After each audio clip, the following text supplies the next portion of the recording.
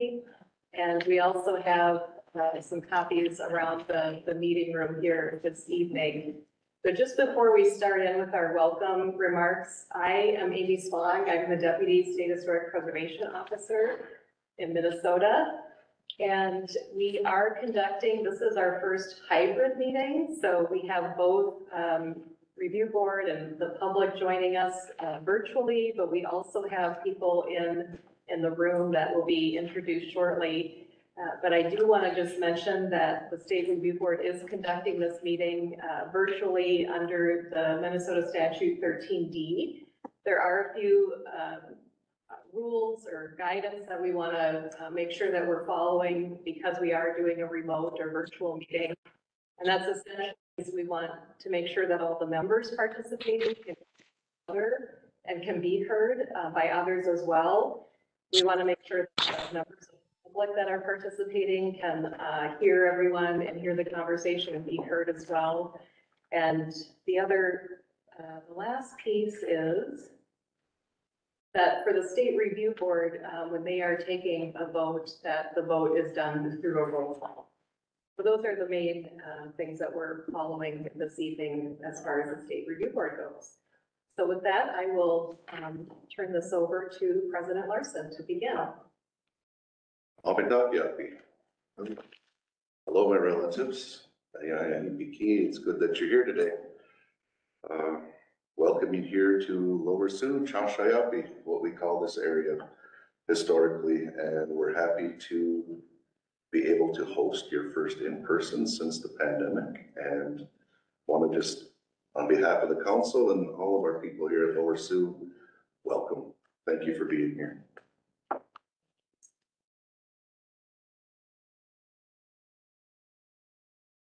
Commissioner Davis, Roberts Davis.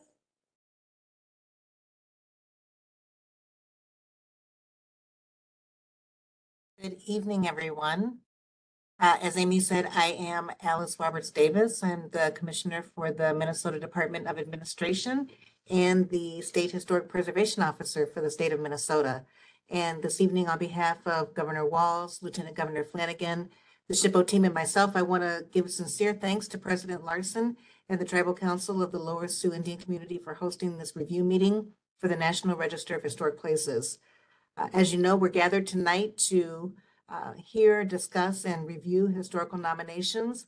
But you may not know that we are also involved in history because our joint meeting is an historical event all its own, being the first review meeting for a National Register nomination anywhere in the nation, held in partnership between a Tribal Historic Preservation Office and a State Historic Preservation Office, with review by the Tribal Council and the State Historic Preservation Review Board. So we should be very proud of that.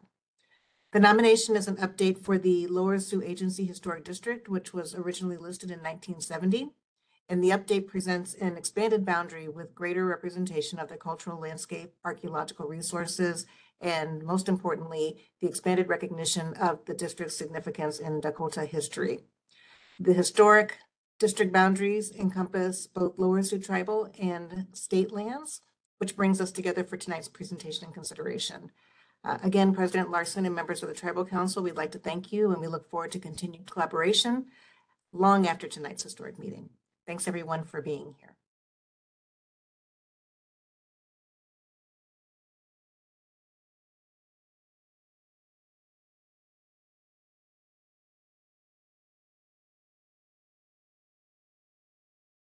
Good evening. My name is Lindsay Dyer, and I am the chair of the uh, State Review Board.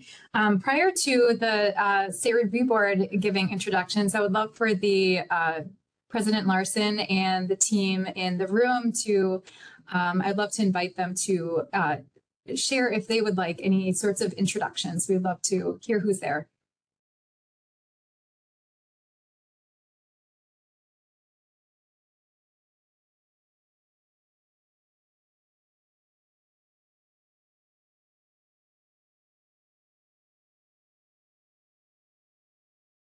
If someone's speaking, I can't hear. I, I don't know if you have the audio going.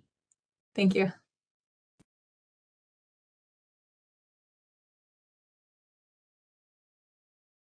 Can we hear? All right.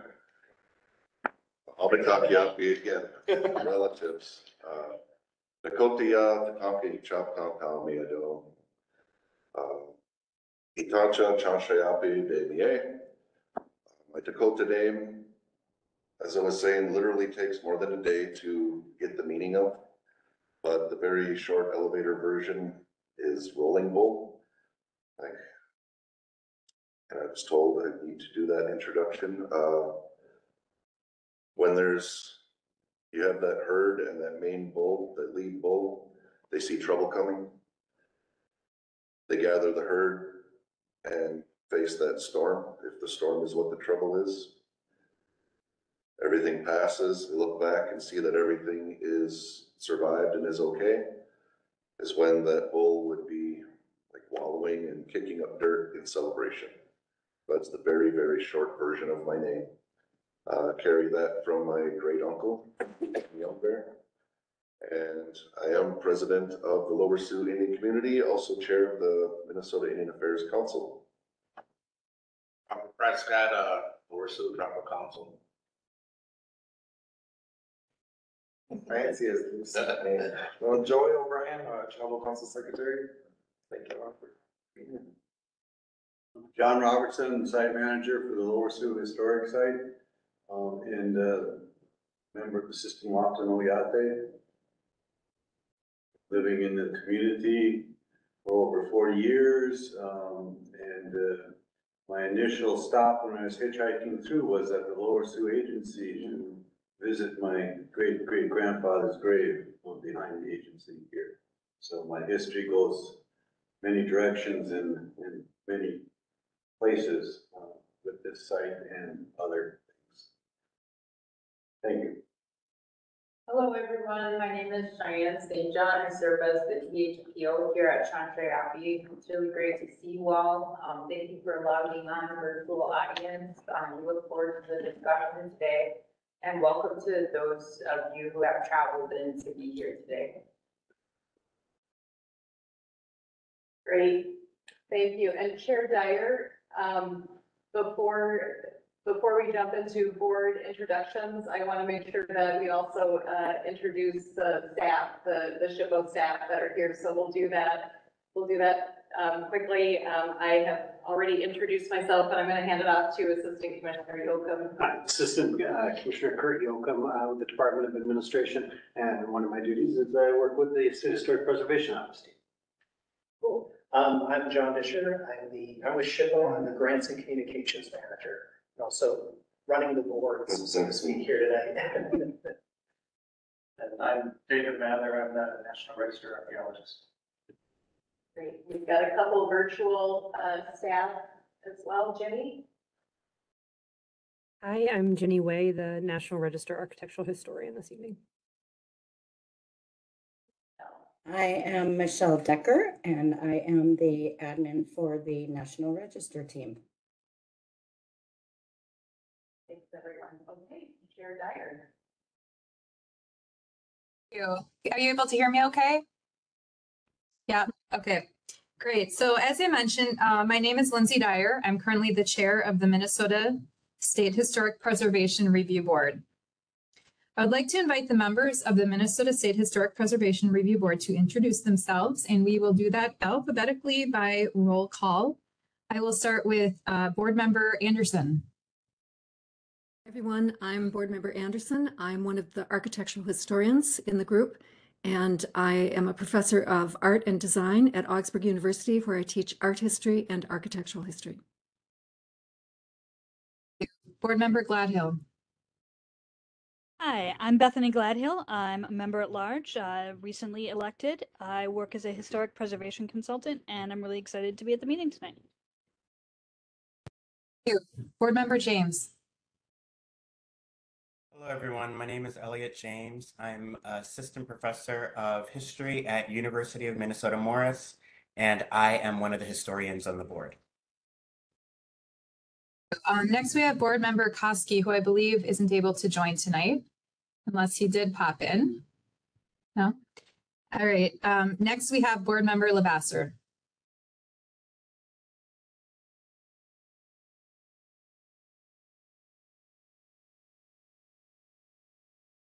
Board Member Lavasser, if you're speaking, I can't hear you.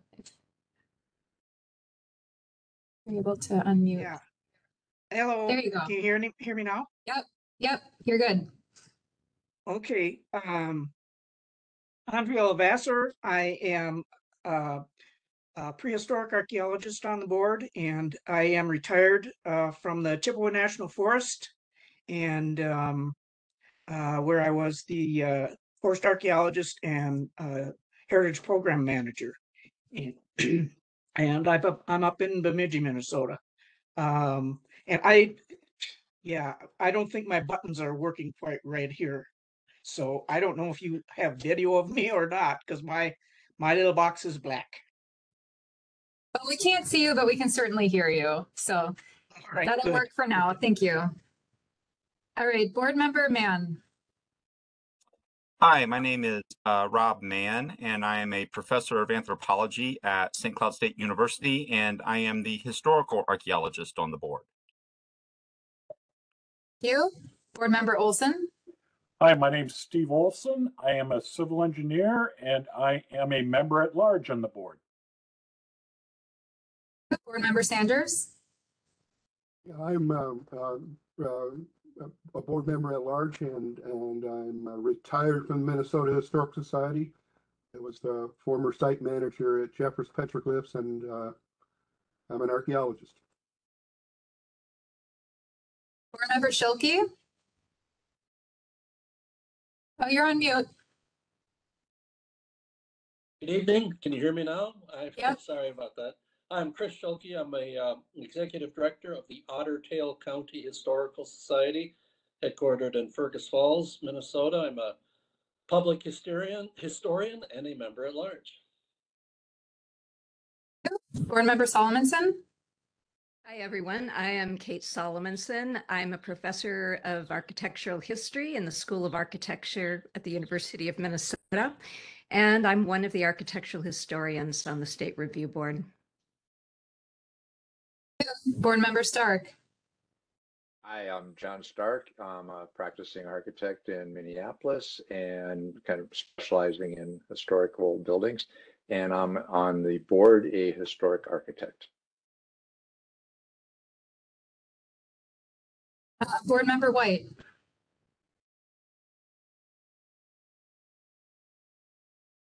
Board Member White. Board Member White was going to call in, but he may not have made it yet. We'll keep an eye out. Um, that brings me to, um, Board Member Worc- Worcester. Tell me if I said that correctly. So Worcester. Worcester, thank you. Like the city in Massachusetts. Yep. Uh, I'm Mike Worcester. I'm the executive director of the Morrison County Historical Society in Little Falls, and I'm one of the historians on the Bu- Board of Review. Thank you. So I am um, Board Member Chair Dyer, Lindsay Dyer, and I am a member at large. Um, I currently work at the His- uh, Minnesota Historical Society as the uh, the state capital and sites art program specialist. So with that, thank you for introducing yourself. Um, I would like to, at this point, um, pass it along to the tribal council to address um, their role. Um, I believe Cheyenne looking for you.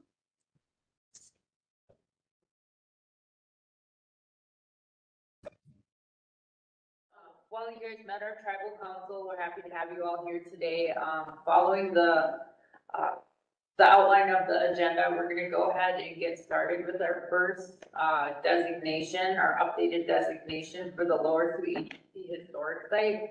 Um, co-presenting, um, with David Mathers is myself and John Robertson. So we will go ahead and jump into our presentation. Um, we have, uh, close to about two dozen slides. We'll move through rather quick. Um, Dave will be presenting. I'll interject as well as John in certain areas. So, uh, thank you all again for your patience and, uh, we look forward to answering any questions you may have after that presentation. I think, um, as goes with the virtual platform, if you do have questions, if there's a little hand that can be raised, um, our our tech savvy fella here will go ahead and address that. So thank you all. Go ahead, David. We want to have Chair Dyer um, read first. Uh, if We do have a little bit of just uh, kind of the intro of the National Register Program and the role, if, if everyone's okay with that before we jump into the presentation. Uh, Chair Dyer, do you want to talk a little bit about just the role and what we're all doing here this evening? Absolutely, thank you. Um, so I'll, I'll give a narrative of, um, of the, the board's purpose, um, which is familiar to many, but new for some. So, uh, the State Review Board's purpose this evening is to consider the nomination of properties to the National Register of Historic Places. As most of you know, the National Register of Historic Places is the nation's list of those places deemed worthy of preservation. A nomination form has been completed for the property that will be considered tonight. The nomination form has been sent to both boards, and each member has had an opportunity to study it prior to this meeting. The owners of nominated properties, local officials, and interested local groups have been notified of this meeting. All have been invited to send written comments about the nomination and to attend the meeting. Specific criteria have been established by federal regulation for evaluating each nomination to the National Register of Historic Places. Copies of the criteria have been sent to owners of the nominated properties and to the other parties mentioned earlier. A description of the National Register of Historic Places program has also been sent to them. These criteria are the standards by which the nomination will be evaluated. This evaluation is the State Review Board's only assignment. Should this nomination update be determined this evening to meet the criteria for inclusion in the National Register of Historic Places, the nomination will be forwarded to the tribal and state historic preservation officers. Should they agree that the property meets the criteria and that the nomination is in proper form, they will sign the nomination and forward it to the National Register of Historic Places Office in Washington, D.C., where it will be reviewed once more. The process is a lengthy one, but it is calculated to subject each property to rigorous evaluation.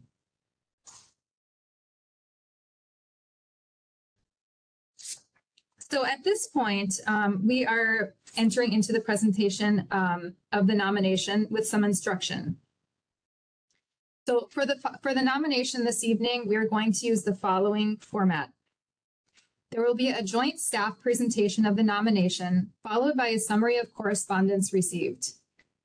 At that point, I will then invite and call on those who would like to speak about the specific property. We ask that you use the chat function, or if you unable, if you are unable to access the chat, raise your hand to indicate that you wish to speak. Please do not use the chat function for any other purpose. For those wishing to speak, we'd ask that you keep your comments to three minutes. We encourage comments to address the question of whether the property meets the criteria of significance for listing in the National Register of Historic Places. These criteria are the standards against which the review board will evaluate the nominations. This evaluation is the board's only assignment. Participants are invited to comment. Please keep in mind the three-minute time limit for each speaker. People will be called on in the order they requested to speak, or if that staff noted, or, or when that staff noted their hand. Please unmute yourself, turn on your camera if available, and state your name when you are invited to speak. After the public comment, the board will discuss the nomination. Our nomination this evening is Lower Sioux Agency Historic District in Redwood County, presented by David Mather and Cheyenne St. John. So now I would like to pass it on to Cheyenne and David. Thank you.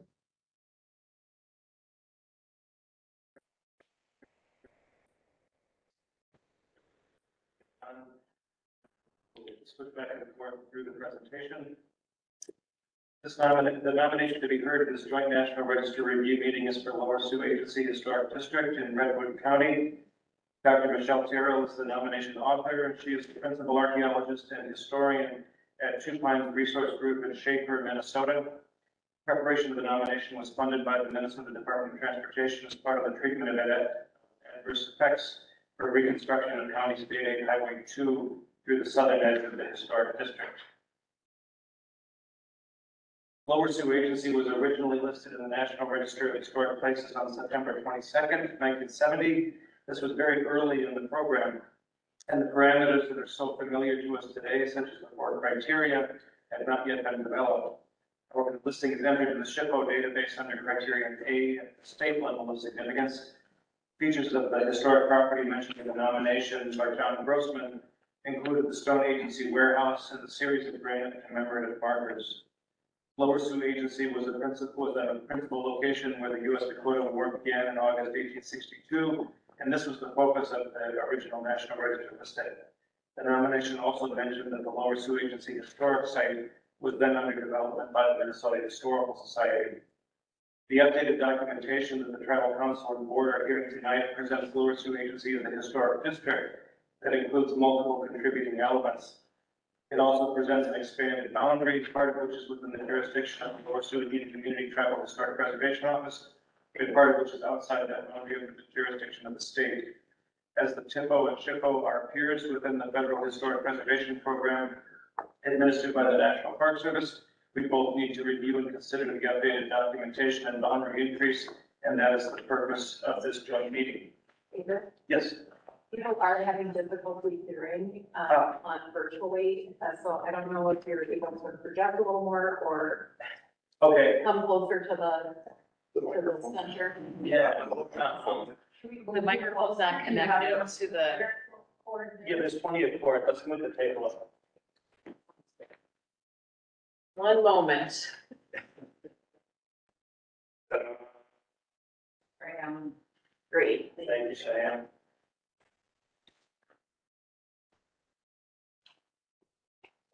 And then I think if you share your screen, the folks virtually will be able to see it because the otherwise they can't see the. Oh, was it not shared now? Oh, I'm sorry. Yeah. We're gonna try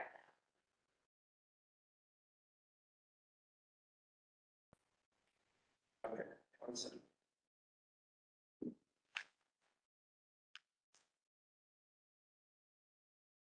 I apologize, everyone. I thought I, I thought I was already shared.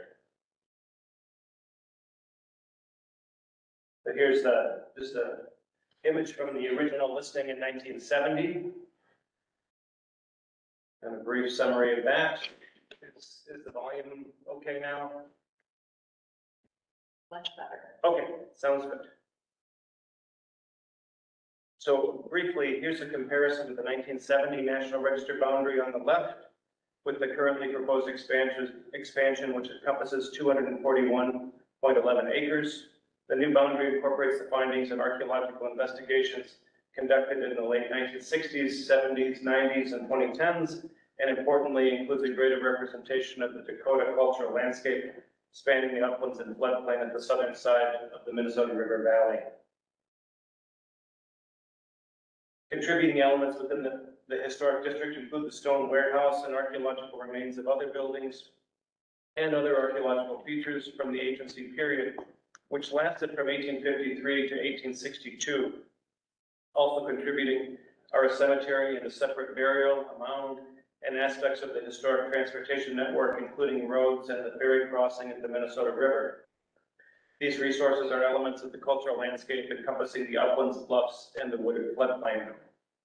Also contributing to the district are a series of granite markers dating to eighteen ninety-eight, which represent an early effort at historical commemoration and and interpretation in Minnesota. As an example of the landscape and vegetation, left we see restored prairie to the south, to the south of um, County Road Two. Camera here is facing west. Uh, And this is at the western edge of the historic district. At the right, the James W. Lynd burial markers in the foreground with a view to the southwest. It is surrounded by prairie grass, and behind that deciduous trees are, are visible that are also within the historic district along the edge of the river valley. Um, the, this marker is one of the six interpretive and memorial markers from eighteen ninety-eight. Lower Sioux Agency was established after the Treaty of eighteen fifty-one, which is one in a series of major changes for the Dakota, requiring them to give up ancestral homelands and traditional ways of living. The government wanted tribes to shift to settled life and agriculture. As such, the, the agency was established in eighteen fifty-three to provide training to distribute annuity payments, food, and supplies as promised by the treaties and much needed due to the loss of traditional food sources. The U.S. government did not hon- honor the terms of these treaties, however, for example, by withholding annuity, payments and by reducing the size of the reservation along the Minnesota River after families had already moved to the Lower Sioux. The stone warehouse was, con- was constructed in eighteen sixty-one and is the primary element of the built environment remaining from the period of significance. Uh, the photos here illustrate the continued historical integrity of the building from the late nineteenth century when it was part of a farm to the original National Register listing in nineteen seventy and to its condition today. The view is east, northeast in each photo. The Episcopal, Episcopal Mission Church of St. John the Evangelist was under construction when the U.S. Dakota War began in eighteen sixty-two, and its foundations are preserved as an archaeological feature near traces of several other buildings and a, and a historic road segment. These historical images are from October or November eighteen sixty-two. The sketches are by Albert Colgrave. A cemetery and burial mound are also present in this part of the district. The mound is likely older from the woodland tradition, perhaps centuries and millennia before, but it was also part of the cultural landscape of the agency period and is therefore a contributing element of the district. Archaeological investigations were conducted related to proposed um, County Road 2 reconstruction from 2012 to 2014, documenting a remarkable array of intact features, including building and fence remnants related to the agency. There are also archaeological features related to military reoccupation of the agency as Camp Sibley following the war in 1862. Other archaeological components in this area represent uh, pre-contact Native American presence in the district thousands of years ago in the archaic and woodland traditions. The photos present examples of 19th century archaeological features. At left are three slit latrine features shown after excavation with camera facing northeast. At right is an archaeological remnant of a burnt structure with charred timber and a stovepipe section in place with view to the north. Cumulative archaeological investigations have been intensive in some areas of the historic district, including related to res- restoration work around the stone warehouse and um, around the, the Episcopal Church Foundation, and more recently, as just mentioned, related to the county road reconstruction. Collectively, these studies have, have identified that the archaeological components of Lower Sioux Agency are extensive, well-preserved, and complex. This view is supported by archaeological surveys for trails at the historic site in the nineteen nineties, where additional agency-era archaeological features were identified. Working from historical records and archaeological investigations, a series of thematic contexts or complexes for the district were proposed in the nineteen seventies and further developed during the recent investigations and preparation of this nomination update. These include a Native American complex that represents nineteenth century Dakota residences and daily life throughout the district. The other complexes related to the government and administration of the agency, traders' operations, agriculture, and religion are more geographically defined.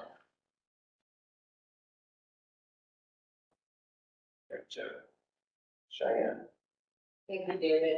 Uh, before we get into some of the more contemporary investments from the tribe and explain the partnership, I wanted to insert this slide just to show some of the, uh, over, within the last decade, Lower Sioux Indian community has invested capacity and funding to share a broader Minnesota history at this site and within the district. Uh, we have included highlighting our partnership with the Minnesota Historical Society and becoming a more present and visible partner to where we are today, which is reclaiming a significant Dakota landscape. Thank you.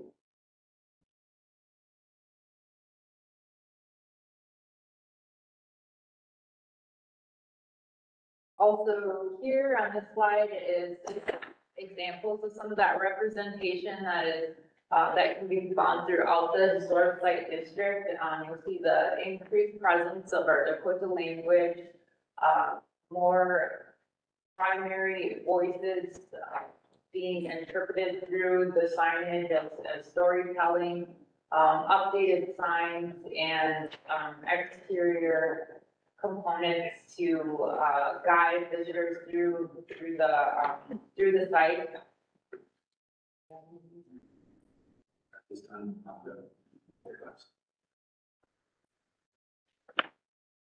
So, um, the, the- the period of significance for the historic district dates from the establishment of the agency in eighteen fifty-three to the aftermath of the U.S. Dakota War in eighteen sixty-two.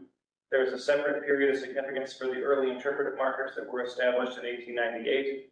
The historic district is significant under National Register criteria A and D at the state level in the areas of Native American history, military, politics and government, and archaeology. In the conclusion of the original National Register nomination in nineteen seventy, John Grossman wrote that the Lower Sioux Agency illustrates the failure of nineteenth century Americans to reach a just ar- arrangement with the native tribes. This sentiment is still relevant when reflecting on the historic district today. The mid-nineteenth century was a difficult and tumultuous period for the Dakota, who had to give up most of their ancestral homelands and traditional lifestyle in response to treaties that were then not honored by the United States government. The Lower Sioux Agency Historic District conveys the story of that time and its dire consequences in the short term for the Dakota and for the state of Minnesota as a whole. But it is also a testament to the resiliency and determination of the Dakota both at that time and in the periods ever since.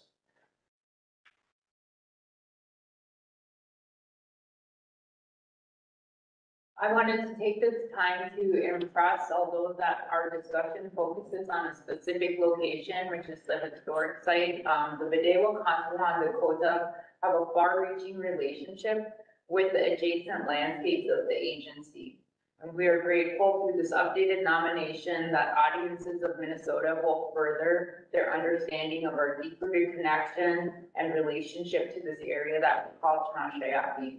So the illustration that you're looking at is, um, was completed in partnership with Two Pine Resource Group and is a cultural resource map of Cansa'yapi as we know it here, um, in our community. Uh, the Casad two report identifies within the historic district an Archaic site of which Minnesota only holds a handful. Uh, we have, we reaffirm what our ancestors have shared many times, that there has always been a longstanding indigenous presence in Cansa'yapi. Unfortunately, many tribal nations are at the whim of archaeology and historic records to justify their presence and habitation. Here at Lower Sioux, we look forward to the opportunity to share and expand this narrative through our own historic findings and redesigning a narrative that represents our perspectives.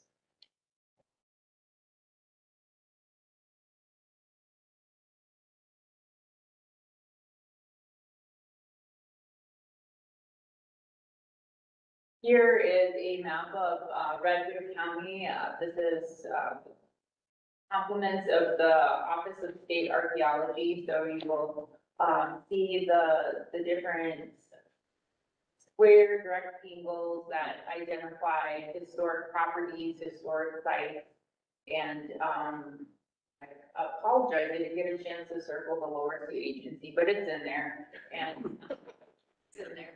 Uh, this is, uh, the, the river valley and the representation of historic, um, cultural resource sites in our area. so.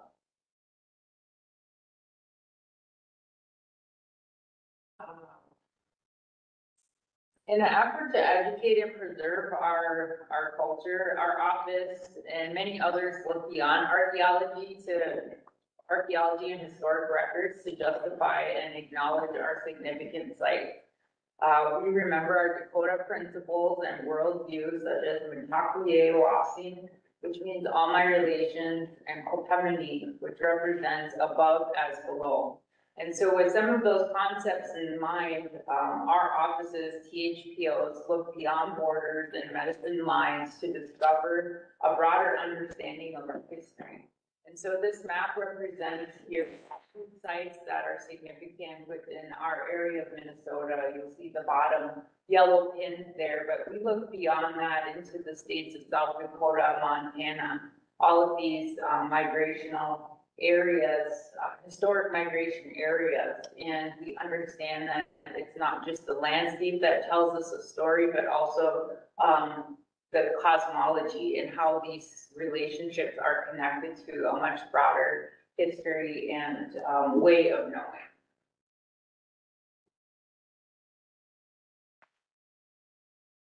And uh, thank you all, and uh, we have no um, correspondence related to this nomination.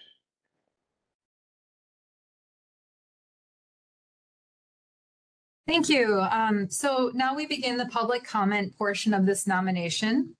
And I would like to invite um, those who are in person at Lower Sioux to um, to make any comments or um, invite discussion. Thank you.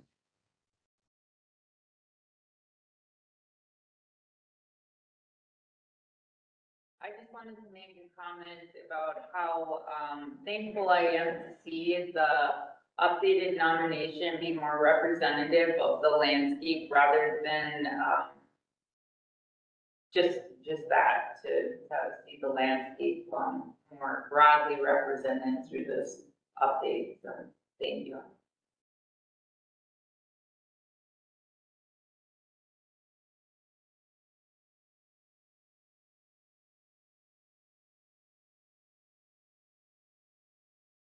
Thank you. Are there further comments from the tribal council? Or, or from folks that, that are joining from the public there? I can't tell how many are in the room.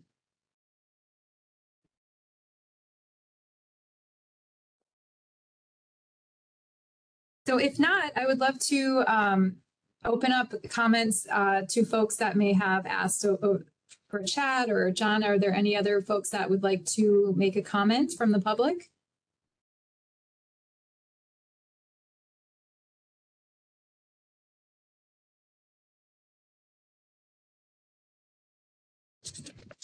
So if not, um, oh, was there something? No, it was just Jenny saying, we can't hear you, John, if you spoke.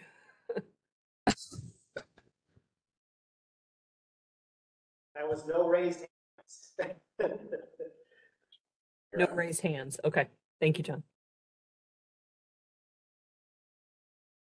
Uh, Board Member Wor- Worcester, did you have a comment? Um, just a quick question. Um, I noticed it was, um, it was not noted for national or federal significance. Was there a reason for that? Thank you. You mean the, the area of significance? The nomination. Right, it's at the, at the state level of significance, is that what the question is? What number we're at? The question is, was there a reason why it was also not noted as being federal or national significance? Right, okay, thank you. Yeah, it, the, the evaluation both in the seventies and, and now has been in the, basically in the context of the state, although, you know, certainly the, you know, the agency in the War of eighteen sixty-two had, had broader implications than that. It- When something is going to be, um, nominated at the national level of significance, the, the historic context statement and the, you know, the evaluation really, um, is done at a national level. Um, and so, you know, it's always possible that that could be done later, but at this point, it's been done at the state level. Okay, thank you. So as the public comment section is now closed, um, I would love to uh, invite, before we move into the voting process, uh, for the tribal council and the SHPO staff uh, board um, to have a joint discussion. And so I would like to invite, um, if any members of the tribal council or state review board, if they have any comments regarding this nomination, uh, this is your time. Um, If you'd like to make a comment, please uh, state your name.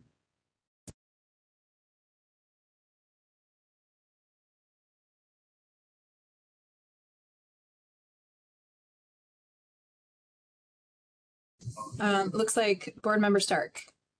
Hi, John Stark, Board Member Stark here. Um, one of the reasons I enjoy being on this committee is being able to read these things. And I thought this was really well written and gave a description of the area, um, as someone else had mentioned, um, the, the people and what happened, both sides. Um, it was very factual and it, it was interesting to know what was going on here. Um, it really helps me to understand this. I'm sure it will be a great record for it. I've driven through this area a number of times. Um, having a project down in Redwood Falls. So um, it helps explain the landscape of what I was seeing around there and the, the markers on the side of the road and not understanding exactly what was happening in that area. So thank you. Thank you. I see in the chat that uh, President Larson would like to speak.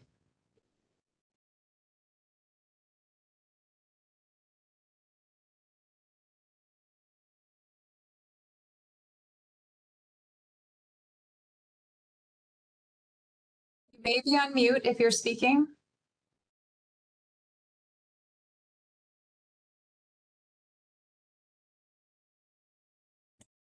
Still no audio.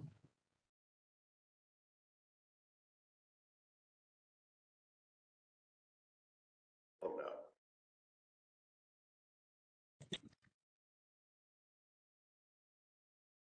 Can you hear us? Test. Test screen. Can you hear? Yes. Okay. We're good, all right.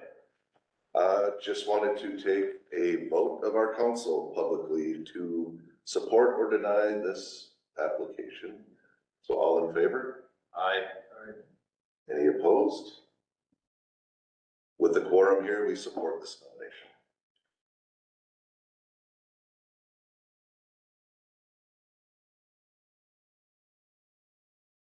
You. Um, so my process is that we now move into the State Historic Preservation um, Review Board vote, um, unless we have any other comments um, from SHPO staff. Otherwise, I will move right into that. Okay, so um, I would like to request from the review board if there is a motion regarding this nomination. Uh, yes, Board Member Solomonson. You're on, you're on mute. Thank you. Sorry about that. Um, I would like to make a motion to recommend that the Deputy State Historic Preservation Officer approve the nomination for listing in the National Register of Historic Places. Thank you. Is there a second? Board Member Schuelke, second. Thank you. It is moved and seconded. We will now begin the roll call for this nomination. Those in favor say aye, those opposed say no. Board Member Anderson, Aye. Board Member Gladhill, Aye. Board Member James, Aye. Board Member LeVasseur, Aye. Board Member Mann, Aye. Board Member Olson, Aye. Board Member Sanders, Aye. Board Member Schuelke, Aye. Board Member Solomonson, Aye. Board Member Stark, Aye. and do we have Board Member White? Okay, Board Member Worcester, Aye. and Chair votes aye. Thank you, everyone. So um, this concludes the presentation of nominations in the joint meeting. Um, At this point, I would like to invite um, members of the tribal council if you would like to make any final comments. President Larson here, I just would like to say thank you to Damian for everybody's hard work on this and dedication seeing it through and everybody's comments support. To thank you.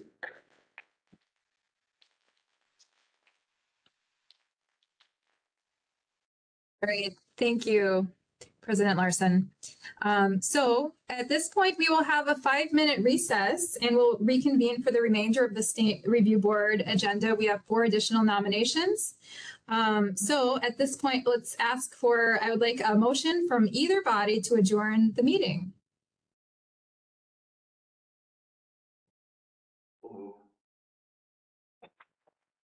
Is there, is there? Board Member Schuelke, adjourn. Okay, wonderful. Okay, so this concludes, this concludes the joint meeting for the Lower Sioux Indian Community Tribal Council and the Minnesota State Historic Preservation Review Board. Thank you, everyone. Um, the time is six forty-six. We will reconvene at um, six forty-seven now. We'll reconvene at six fifty. uh, two. See you back at six fifty-two. Thank you.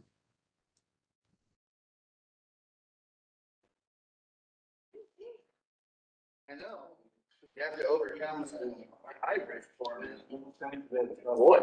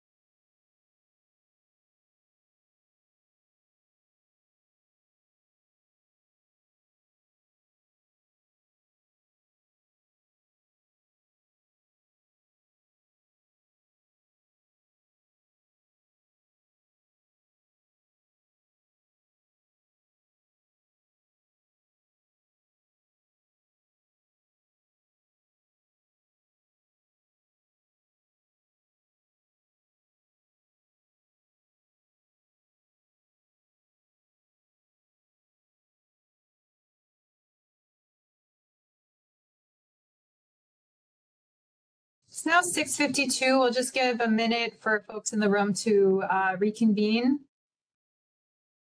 Thank you.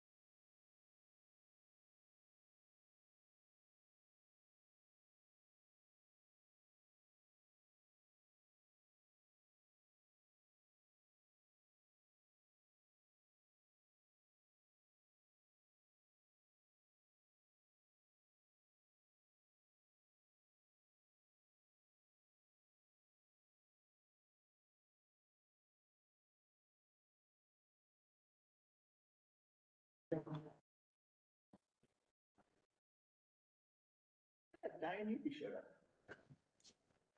Yeah.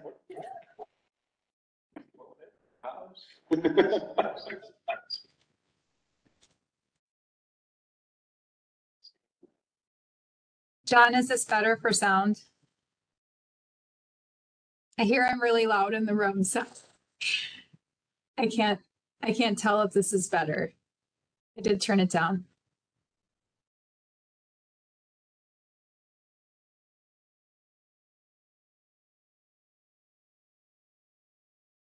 Okay.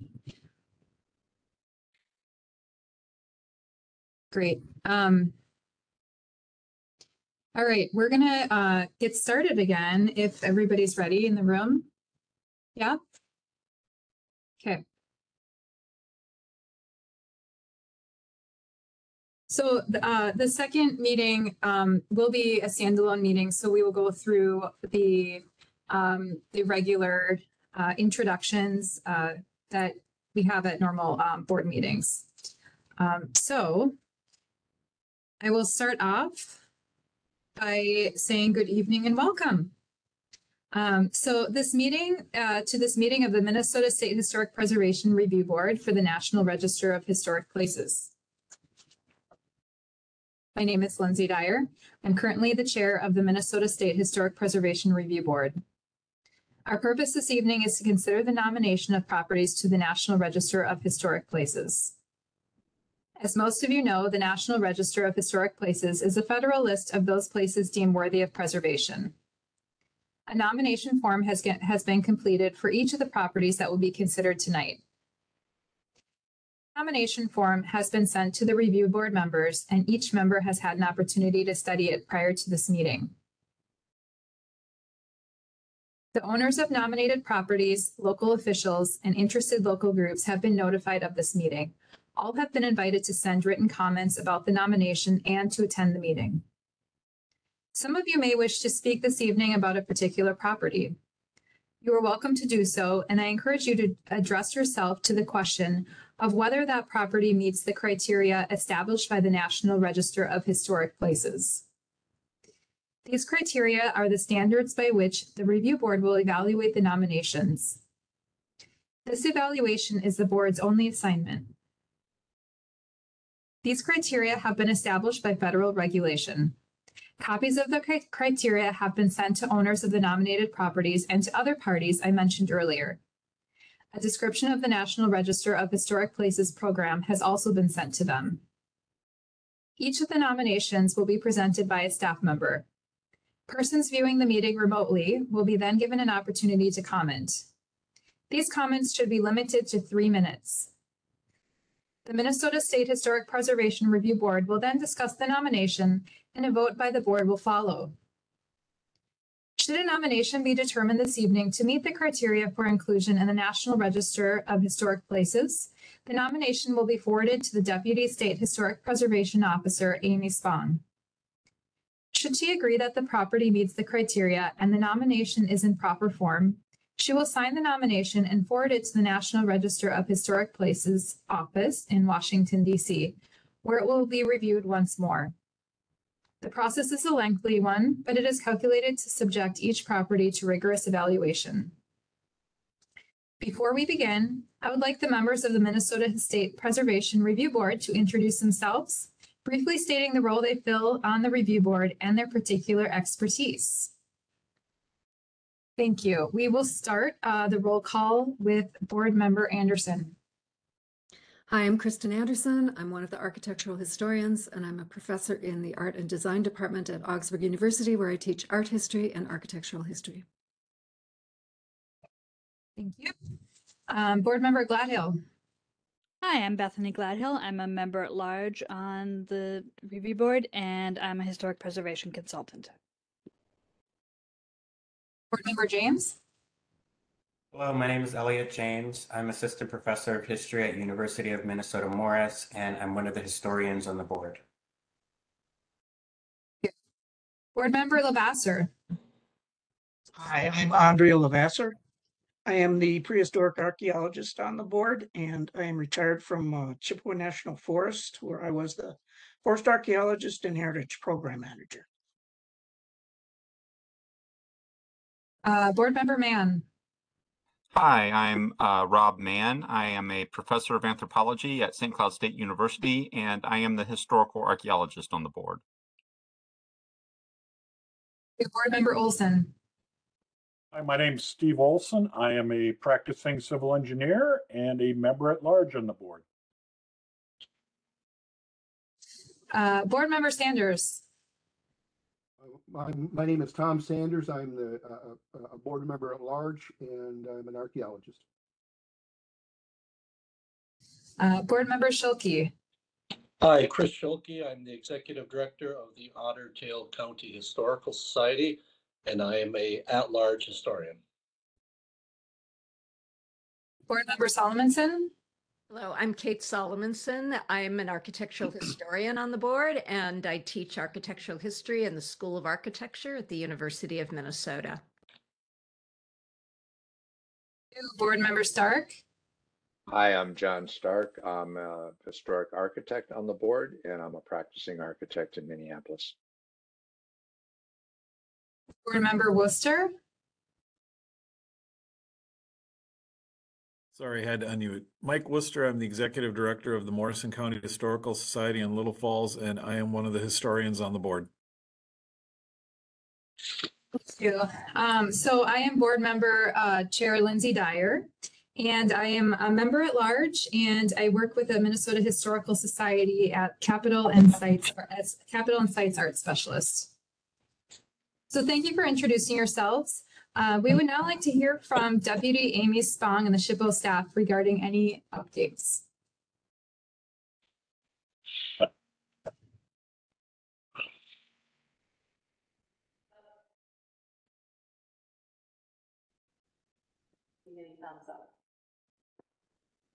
Can you all hear?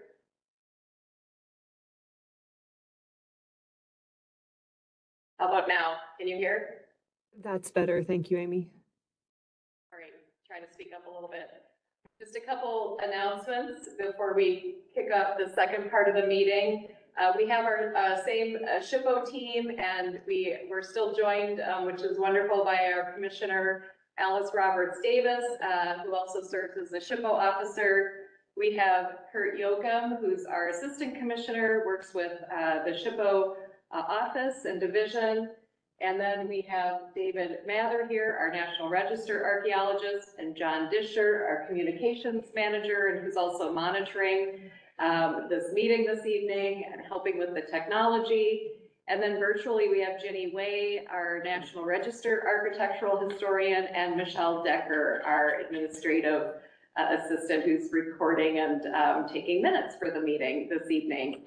Uh, and the only other um, announcement that I didn't get to mention the first time in the first part of the meeting is that I think it's very fitting that we're having some of these really important nominations be heard and considered during this month, uh, the month of May, because it is National Historic Preservation Month. Uh, so I just wanted to point that out to everyone. And the theme this year is people saving places. So if anyone has a chance to participate, there's a lot of different activities going on across the state, um, various tours, and, um, if anyone has a chance to, to participate, I would encourage that. But you all are participating in Preservation Month by, uh, the work that you do, the volunteer work that you do. Uh, so I just want to extend that thank you to everyone, um, on the board, uh, and for making a difference and for promoting and advocating for historic and cultural resources. So, uh, National Register team, does anyone have any announcements, updates? Amy, may I add one?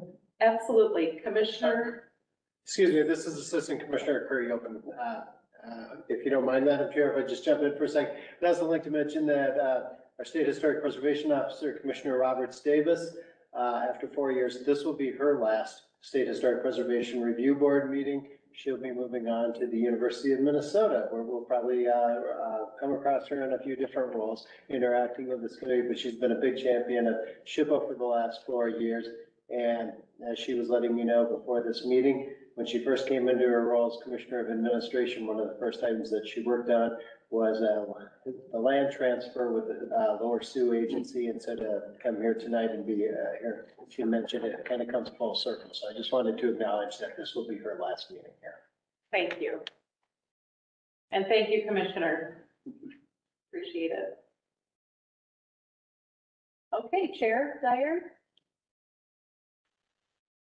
Great, Thank you, Amy. Um, okay, the next item on the agenda is, uh, the review of the minutes from the February seventh, twenty twenty-three meeting. Are there any corrections to the distributed minutes?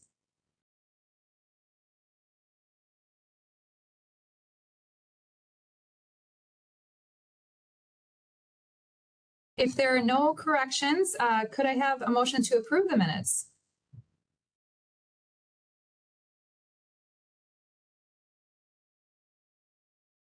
There's a hand raised, I can't quite see it. Uh, this is Board Member Gladhill, and I'm moved to approve the minutes. Wonderful. Uh, is there a second? Board Member Worcester seconds. Uh, we will begin the roll call to approve the minutes. Board Member Anderson, Aye. Board Member Gladhill, Aye. Board Member James, Aye. Board Member LeVasseur, Aye. Board Member Mann, Aye. Board Member Olson, Aye. Board Member Sanders, Aye.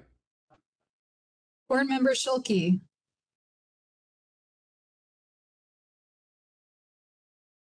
uh, Board Member Schuelke, are you muted? Sorry. Aye.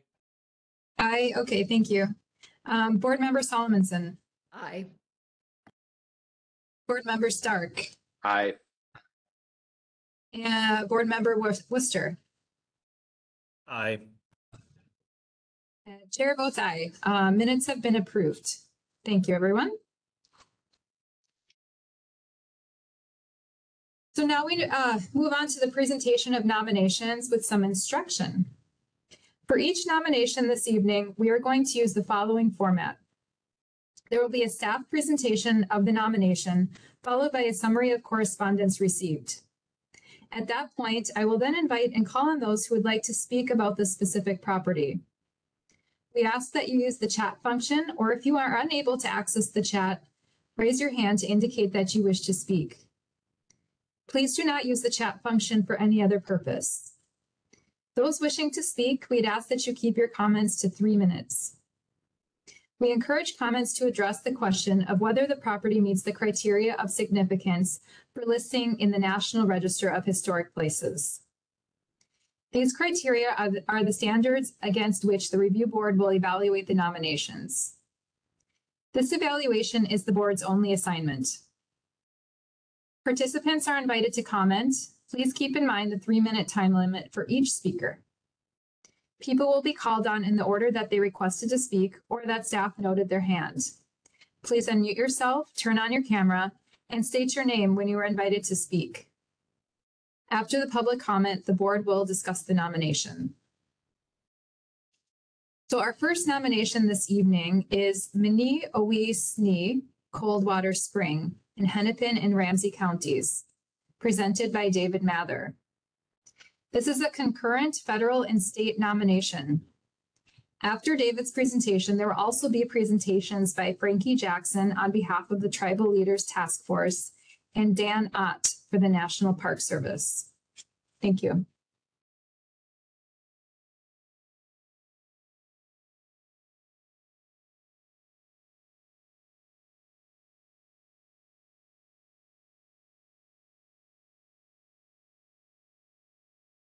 We don't have sound yet if you've started speaking. Thank you.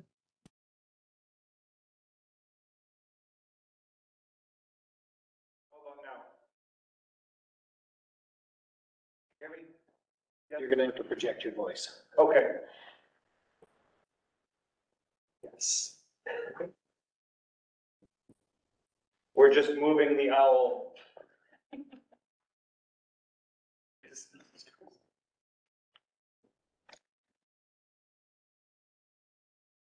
All right, thank you, John. Is that better? Board members on, online? Yeah, thank you. Yes, this first nomination is for Mni Owe Sni, Coldwater Spring in Hennepin and Ramsey County. The nomination authors are Frankie Jackson of the Sisseton Wahpeton Oyate and Dan Ott of the National Park Service. This nomination is for a traditional cultural place significant to the Dakota. It is also the first time in Minnesota's National Register program that we've had a concurrent federal and state nomination. The National Re- Register listing process is different for federal land, and Minnesota has a good range of federal listings. Examples include Pipestone and Grand Portage National Monuments, the Gull Lake Mounds and the U.S. Army Corps of Engineers Gull Lake Recreation Area, and the Rabideau CCC Camp in Chippewa National Forest. Concurrent nominations are when the nominated property is partly on federal land and partly on land under the jurisdiction of the state, and this is the case for Minneopolis in the Twin Cities. The spring itself became part of the Mississippi National River and Recreation Area in 2010, which is a unit of the National Park Service. Um, The T, um, excuse me, um, this TCP includes the creek that flows through the, uh, flows to the Mississippi River, and this crosses through non-federal land administered by the Minnesota Historical Society.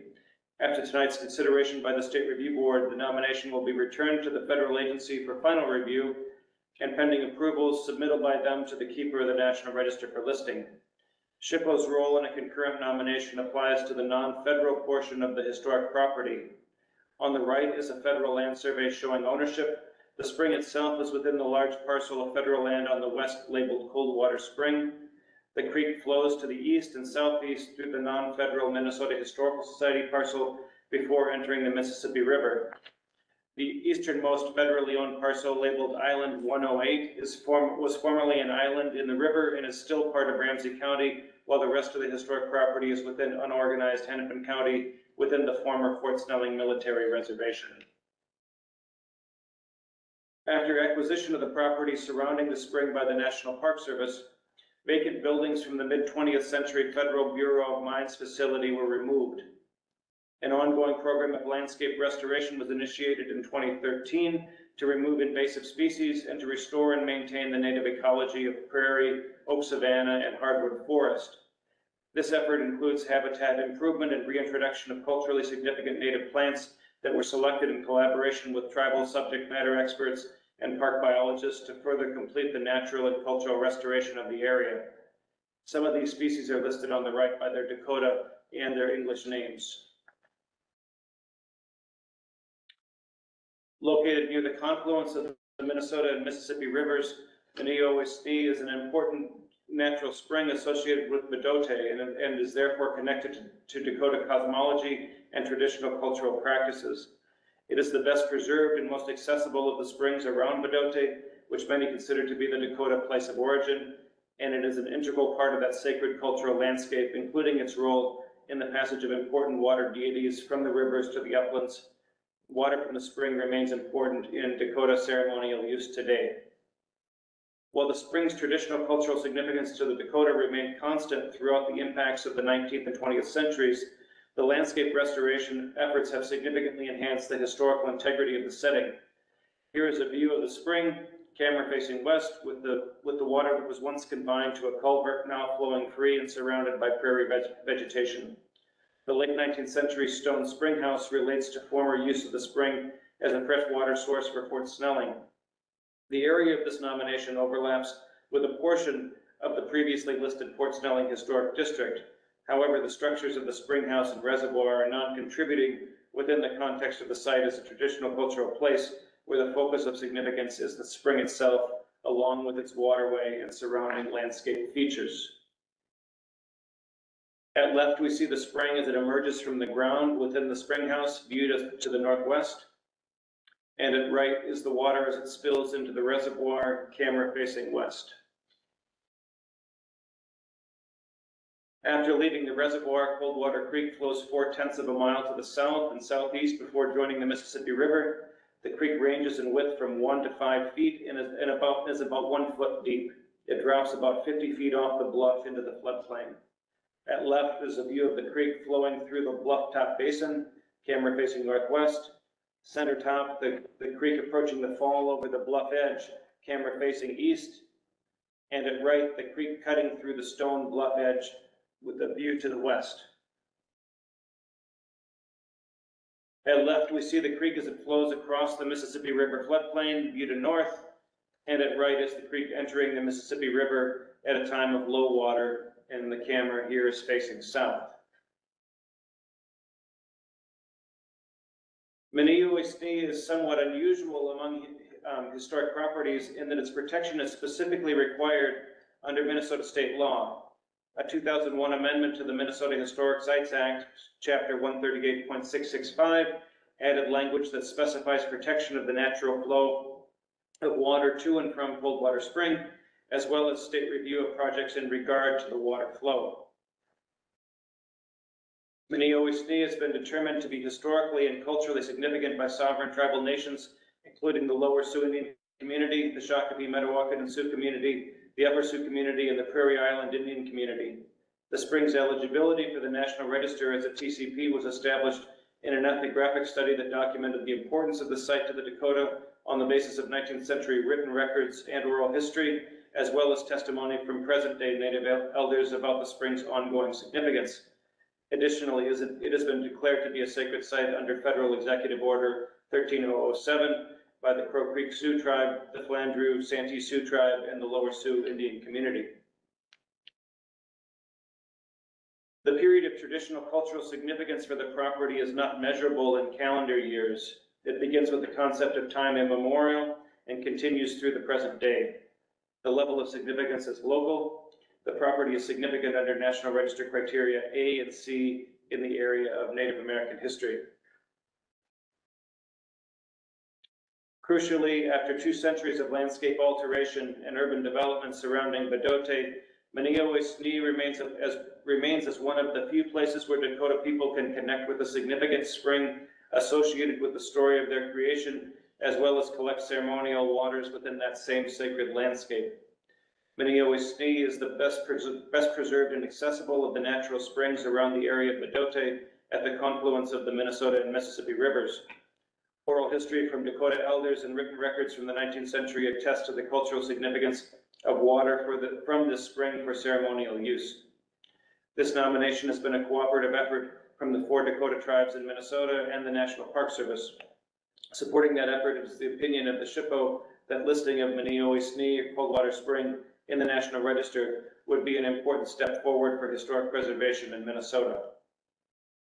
Correspondence related to this nomination includes letters of support from the Tribal Leaders Task Force, excuse me, Task Force signed by the Tribal Historic Preservation Officers of Upper Sioux Community, Lower Sioux Indian Community, and Prairie Island Indian Community, and from the chairman of the Shakopee, Mdewakanton, and Sioux Community. There is also a letter of support from the Minnesota Historical Society. And now, because this is a concurrent nomination, we have statements from Frankie Jackson on behalf of the Tribal Leaders Task Force and from Dan Ott on behalf of the National Park Service. Frankie? Thank you, Mr. Mathers. Can you hear me? Can everybody hear me okay? Oh, like to start by thanking the Lower Sioux Tribal Council for hosting this historic meeting in partnership with the State Historic Preservation Review Board. I would also like to thank my co-author, Dr. Dan Ott, for his leadership and willingness to work with members and tribal representatives from the four Dakota communities throughout this nomination process. I would also like to acknowledge the leadership of Superintendent Mr. Blythe, who has supported these efforts, and it's through his leadership um, that the process is moving forward. Additionally, I would like to take this opportunity to thank Dr. Michelle Terrell from Two Pines Resource Group for their valuable contributions by way of ethnographic research and documentation. Michelle and her associates' efforts to document oral testimonies from treasured elders about the historical and cultural importance of Mni Owe Sni to the Dakota Oyate will continue to be a major contribution for researchers and scholars alike. Would like to thank my fellow members of the Tribal Leader Task Force for their leadership and advocacy of this nomination. Through guidance from Mr. Leonard Wabasha, Mr. Noah White, Madam Cheyenne St. John, and Madam Samantha Odegaard, this nomination reflects Dakota Wichoma, or our Dakota way of life, and our continued connection to Mni Owe Sni. I further like to thank the elected officials and tribal representatives from the Shakopee, Mdewakanton community, the Prairie Island Indian community, the Lower Sioux Indian community, and the Upper Sioux Indian community. The struggle to accurately define why Oeshni is important to Dakota people and our life ways has spanned well over two decades. And so it's only fitting to recognize those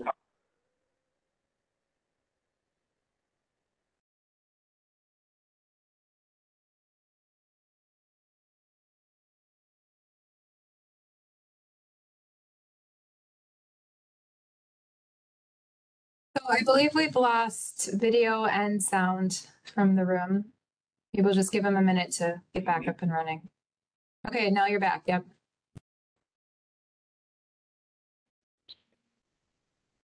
As such, the unique perspectives of tribal people can help inform planning and help determine future management contributions, such as what we are proposing at Mni Owe Sni.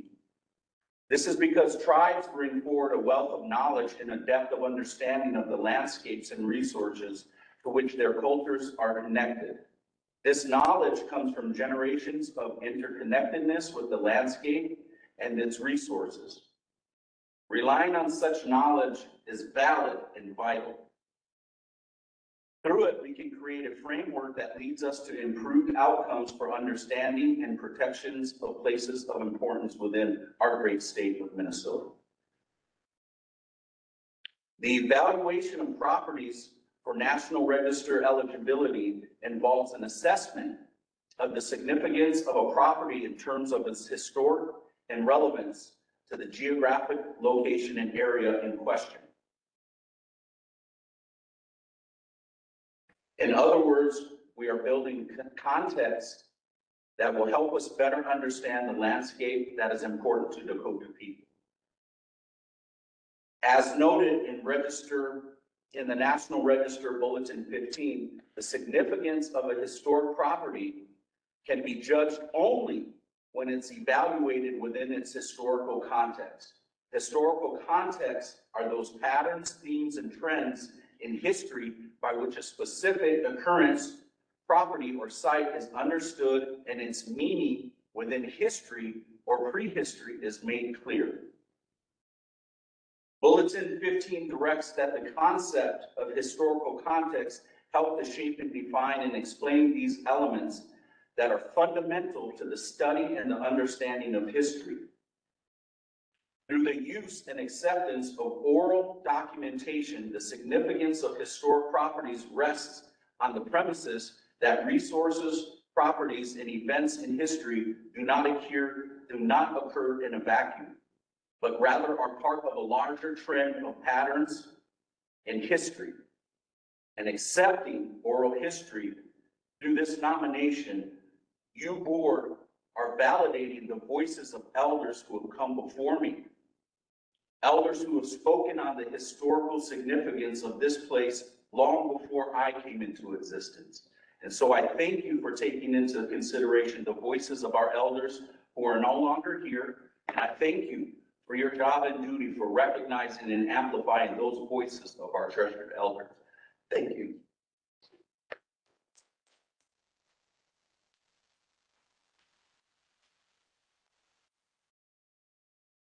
Um, Thank you, Frankie. I would like to begin by thanking my co-author Frankie Jackson for his patience and willingness to collaborate with me and as we work together to sensitively, accurately, and authentically describe Dakota ways of knowing Minneowassee within the confines of the seemingly rigid National Register of Historic Places criteria.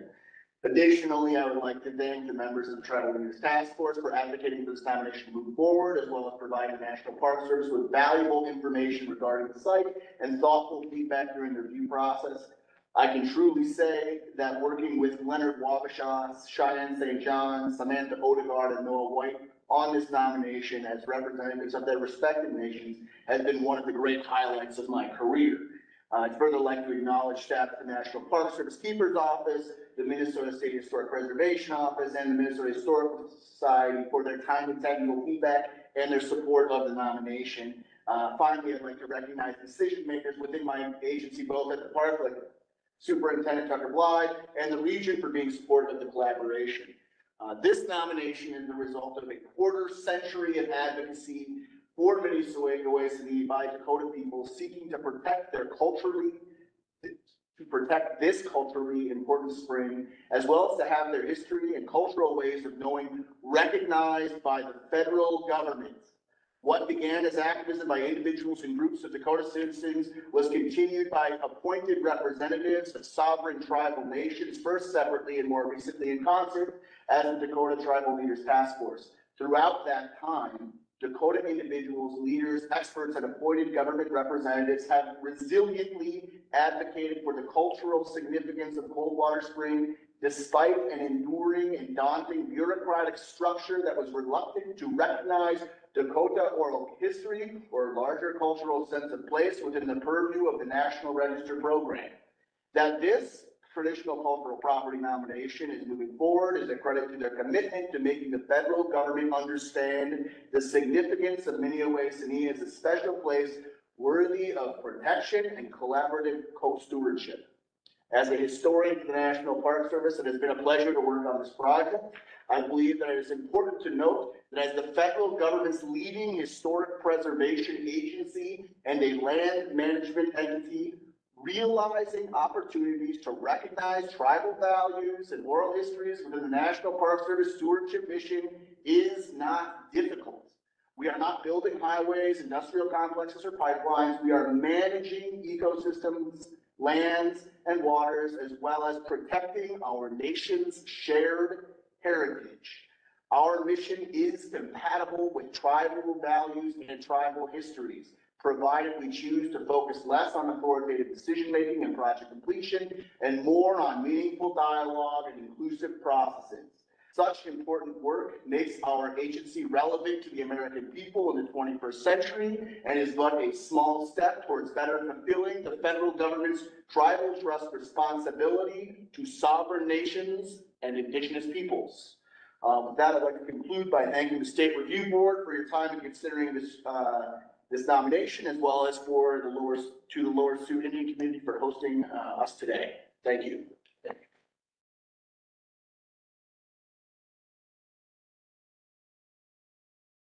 You. Um, we will now enter into the public comments portion of this nomination. Is there anybody who is waiting to speak?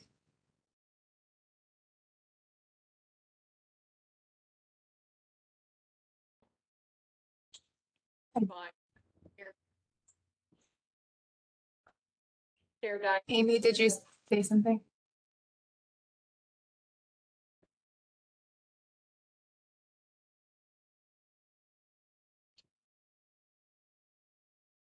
I do not see anybody on chat who has asked to speak. Um, is there anybody else, John? I'm not sure if I'm, Amy, if you're speaking, I'm not sure if I'm hearing you.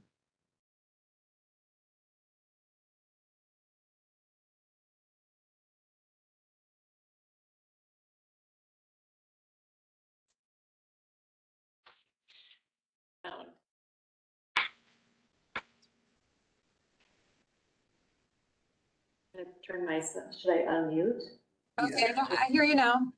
There, there seems to be a big delay for some reason, um, in the, in the sound here. But I, I, this is, uh, Amy Spong. I did want to add that in the chat, we have a, a thank you note to Mr. Jackson and all the Dakota THPOs in Minnesota, and that is from Sarah Childers from Flandreau Santee Sioux THPO.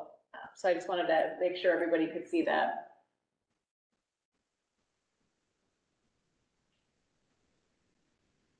That's all.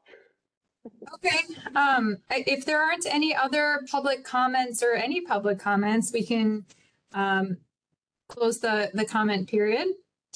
Uh, at this point, I would love to ask the board members if there is a motion regarding this nomination.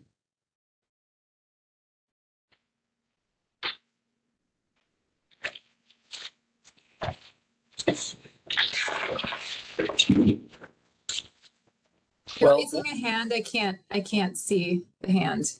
Board So Member speak up. Schuelke will make that motion. You?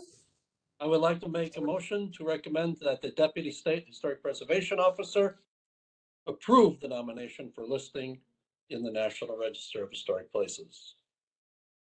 Thank you, Board Member Schuelke. Is there a second? This is Board Member Solomonson, and I would like to second the nom, uh, second the motion. It is moved and seconded. Is there any discussion related to this nomination? Uh, Board Member Stark, I see your hand up. Unmute. Um, yeah, I had the opportunity yesterday afternoon to go walk through the site, trying to better understand what was there. And it's, it's, I recommend everyone get a chance to do that. It's really close and easy to get to. My question maybe goes to David Mather. Um, I understand what's going on. I'm really supportive of this, but just, uh, my background comes from buildings and when you have non-contributing and contributing, and I'm a little torn by that because it feels like I'm walking into an abandoned late 19th century uh, site uh, uh, with the the uh, spring house there and the pond and the retaining wall and everything else. And as it walks around there, is is it more what happened here, the history of it, and any archaeological stuff? On the surface, there's I question some of that stuff. If you could clarify that. And, and it kind of goes back to when we had the golf course, um, and we'd had that discussion in a previous meeting. Yeah, the, um, yeah, the, the significance of the traditional cultural place here is focused on the spring and the water itself and the landscape that it flows through. Yeah, there are historic, um, structural remains, there are archaeological sites, and they may be, um, you know, significant for other reasons that, and some of them are, um, recognized in the Fort Snelling Historic District National Register documentation. But, but this, uh, this historic property, this nomination focuses on the, on the, the cultural landscape features themselves. And it, it is a, you know, a standard thing for National Register boundaries to overlap. Sometimes like an individual place will be listed within, within a larger district that may or may not be directly related. Um, you know, the, the boundaries are, can be, you know, they're all their own thing, whether they overlap with one another or not. And Frankie or Dan, do you want to speak to that question at all, or? I mean, I just want to follow up on what David said, and essentially that there is, you are correct, John, that there are uh, remnants uh, from the 1880s on the site of the waterworks at Fort Snelling. Uh, But also that, that those remnants are, are on top of a landscape that is significant to Dakota people uh, since time immemorial for a variety cultural, cosmological, and traditional purposes. And so those, that those two things are intermixing um, does not hinder the nomination in any way. Okay, thank you very much. I see a hand from uh, Board Member Olson. Thanks. I, I've got a, a few things. Um, I guess one is Yeah, I, I get the comment made earlier that it was trying to sort of shoehorn a site that doesn't neatly fit into uh, a National Register form. Um, and the imagery, it'd be, you know, from one perspective, I'd like imagery that wasn't sort of Fort Snellingized, if you will, as sort of the lead image, if it was a little more natural. I don't know if that's possible, but um, two other things. As a as a civil engineer the flow of water is important to me too.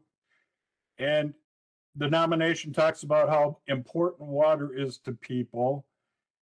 Is there a reason why the boundary for the district centers on the border of the land instead of in the river is one question.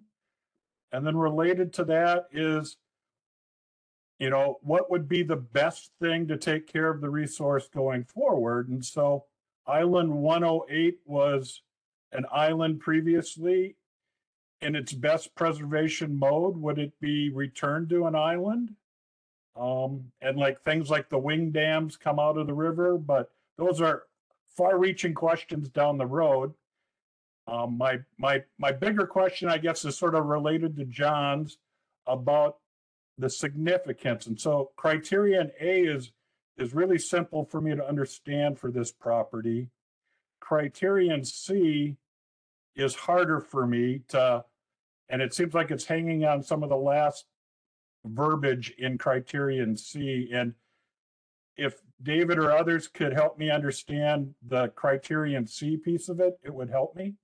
Thank you.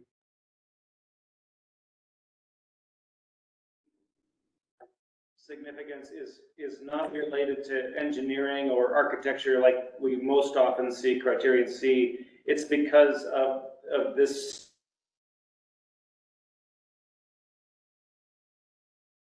but individual landscape elements like the spring, this, the creek, the, you know, the vegetation, the, the topography.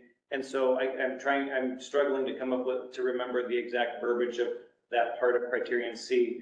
Um, it's the, the It's criterion C four, so it's separated off in the National Yeah, yeah. Register Bulletin, right? Yeah. And essentially, it's a representative elements that in, on their own do not rep, that are not significant, but are part of a larger whole that is significant. Yes. And so the reason why we use that criteria is that it's part of the larger whole of springs, which Dakota people recognize as being significant in the Bato, the Bdote area. Um, you have- I have a follow-up on the boundary question, if, Oh, please go ahead. the follow-up on the boundary question is that generally speaking, within Dakota ways of knowing, um, there are not necessarily clear spatial and property boundaries defined sites of significance.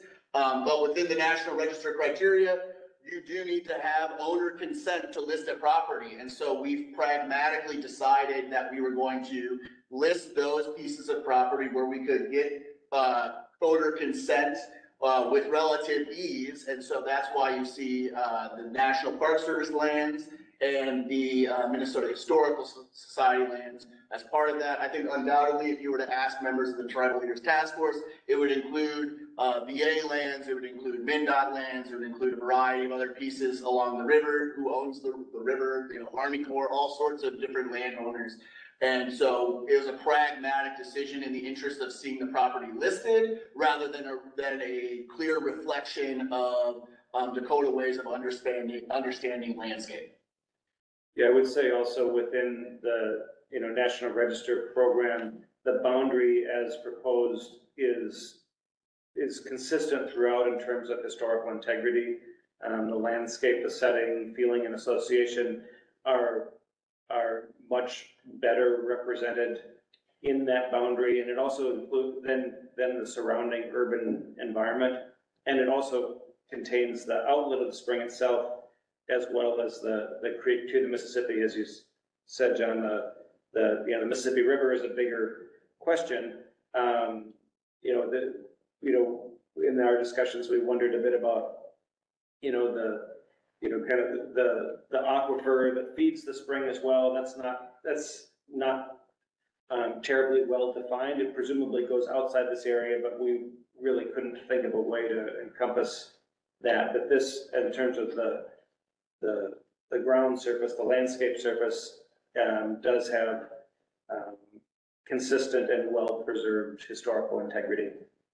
And there's just a lot of unknowns with regards to, fu- you know, future activities going on with the dams coming down and things like that. Though there are some early discussions with our tribal leaders on what that part of the river may look like, it's too early and speculative for us to even comment.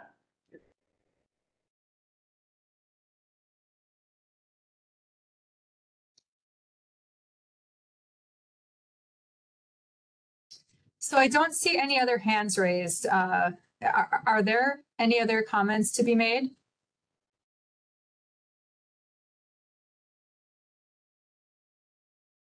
Okay, so the motion before the board is to recommend that the Deputy State Historic Preservation Officer approve the nomination for listing in the National Register of Historic Places.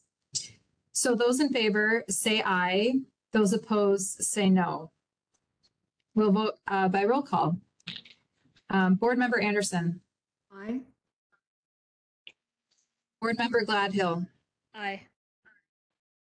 Board Member James, Aye. Board Member LeVasseur, Aye.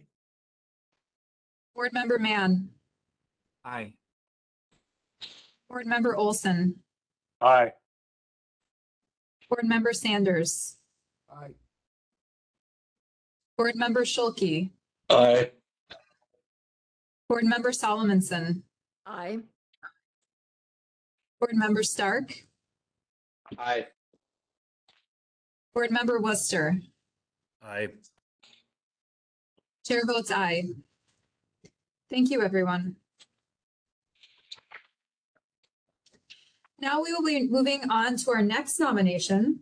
Our second nomination this evening is He Mni Can Barn Bluff in Red Wing, presented by David Mather. This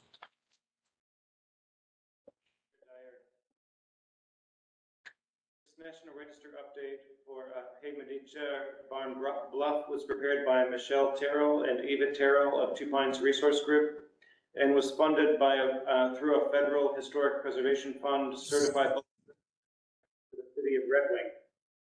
That effort was part of a long-term restoration and management plan that included restoration of the Carlson Lime Kiln kiln ruin and preparation of a cultural landscape report for Barn Bluff funded with the Minnesota Historical and Cultural Heritage Grant awarded uh, in 2014.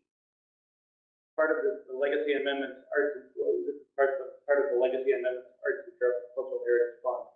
Also contributing to this effort is a series of cooperative projects between the city of Red Wing and Fair, and the Prairie Island Indian community to restore the landscape through the removal of invasive species, interpretation of cultural history, or Dakota cultural history, and creation of a park management plan. This National Register update is for He Mni Can Barn Bluff, but it actually addresses two previously listed properties. Barn Bluff was originally listed in the National Register on August third, nineteen ninety, under the English name alone.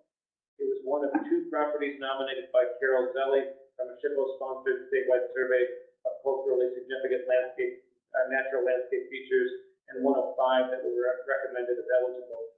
Previously, the G.A. Carlson Lime Kiln Ruin was listed in the National Register on September 27, nineteen seventy-six, under criteria A and C. boundary of Barn Bluff listed in nineteen ninety was defined by the seven hundred and forty foot contour on the USGS topographic map.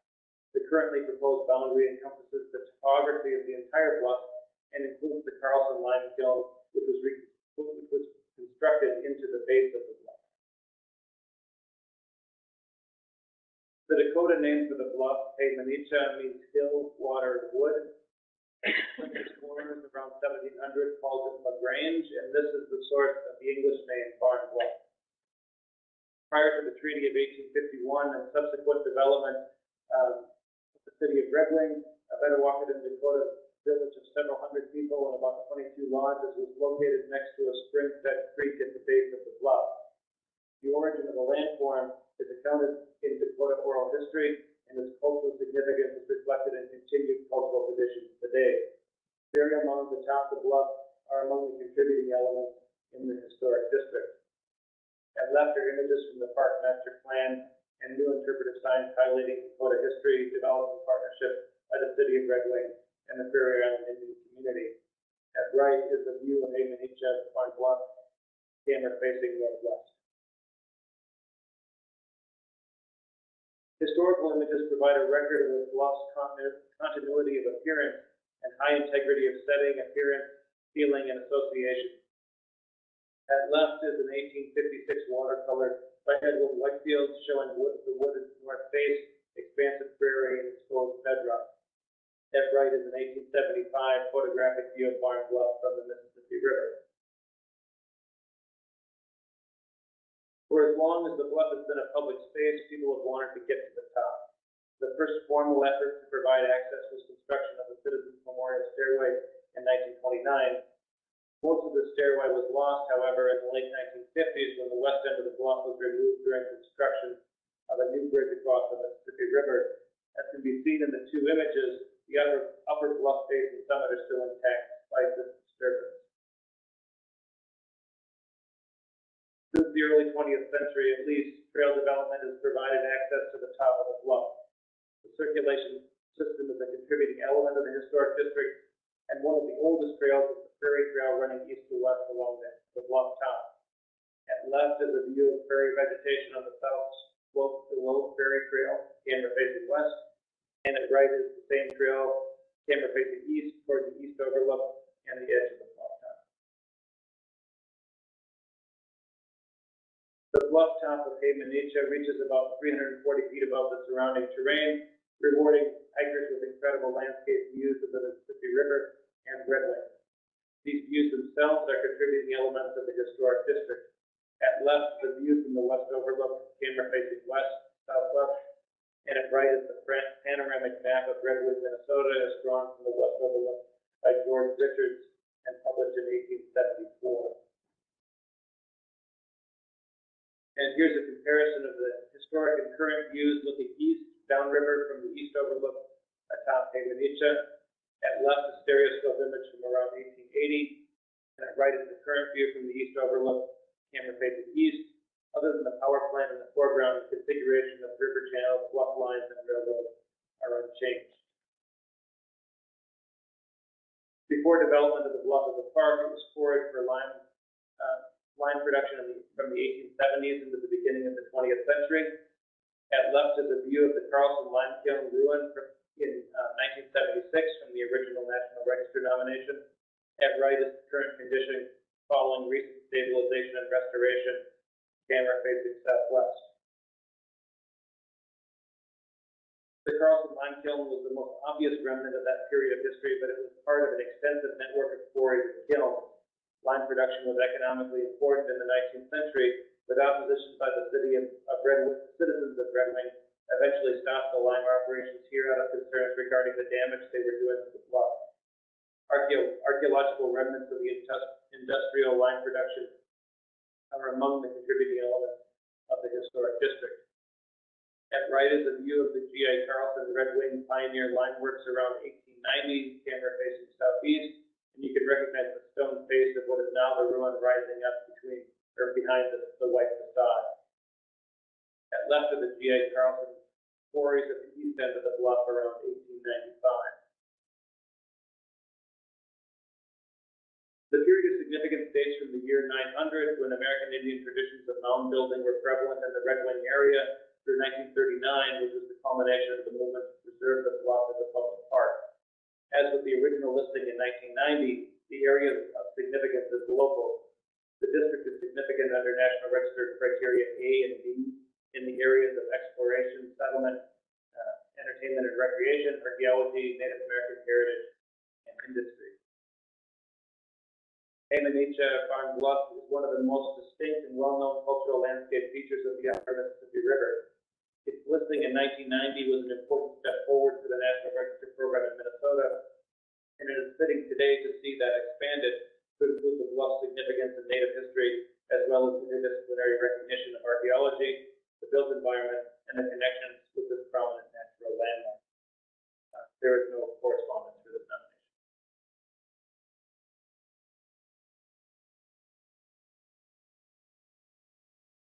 Hey, David. Is there anyone who has signed up to speak for the public comments portion?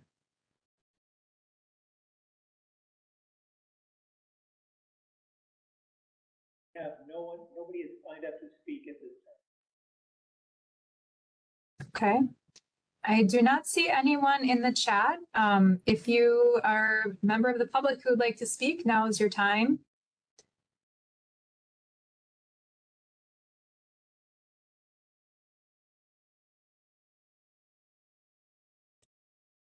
Okay, I don't see any hands. So, um, at this point, I would love to ask, uh, the board if there is a motion regarding this nomination.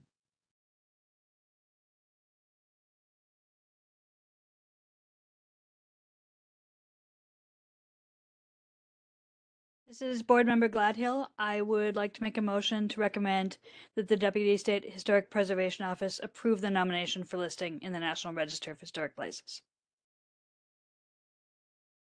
Thank you. Is there a second?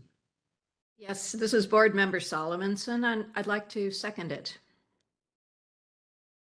Thank. It is moved and seconded. Um, is there any discussion from the board related to the nomination?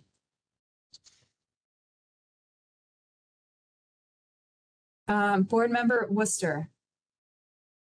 Thank you. Thank you, Madam Chair. I, I, this is probably going to get filed under, there's nothing we can do about it, but um, this site sits right next to a very active rail line, correct? Yes, it does. Okay. Is there any concern at all about the potential increased in tra- increase in traffic due to the recent merger between CP Rail and Kansas City Southern? Again, probably nothing we can do about it, but is that, are there any concerns about that at all? Um, Yeah, good question. I have not heard of such concerns so far. I do know um, that during the, the most recent bridge replacement, which, uh, you know, occurred a few years ago, there was, um, you know, part of that process was monitoring vibrations and other potential effects to the bluff. Um, If there is concern about additional rail or increased rail traffic, it's possible that that sort of measure could be taken as well. I don't know what the process to do that would be, however. Okay. Thank you. Board Member Mann. Uh, yeah, hi. I had a, a quick question about the non-contributing resources, especially the um, East Third Street neighborhood. And maybe if I could just hear a little bit uh, more about uh, that neighborhood, for example, uh, who lived here and, and were they quarry workers or um, limestone kiln workers? Were they related to the, the industry that were that was going on on the bluff? And then a little bit more perhaps about um, uh, even though it seems there are some intact deposits and features, why it was considered non-contributing. Excellent question, thank you. Um, yeah, my understanding is that the, the neighborhood was, was, um, you know, a former neighborhood of the city and is non-contributing because it is unrelated to the, um, you know, the archaeological aspects that are on the, the, the bluff itself.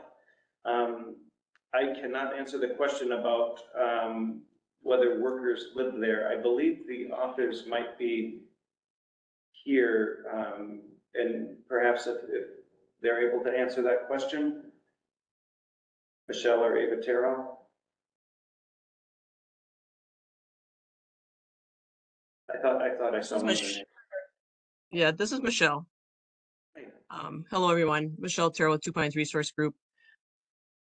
I, um, would have to, it's been a bit since I've submitted the nomination. I would have to dig a little deeper. But as I recall, that neighborhood was developed uh, not concurrently with the uh, lime quarry industry on the bluff and was demolished in the fifties. And so I don't, do not believe that there was related resources to the features that the bluff is nominated for. Okay, all right. Uh, thank you for that. I, I really did appreciate this nomination. I've, I've driven past the bluff, but I haven't had a chance to, uh, to explore yet. But after reading this, I certainly will next time I'm, uh, down that way. Thank you, Michelle. I, I would. Thank you. Um, Oh, are there any other comments or questions from the board? Please raise your hand or pop it in the chat. I heard something from the room. Uh, David, was there more commentary from the room to share?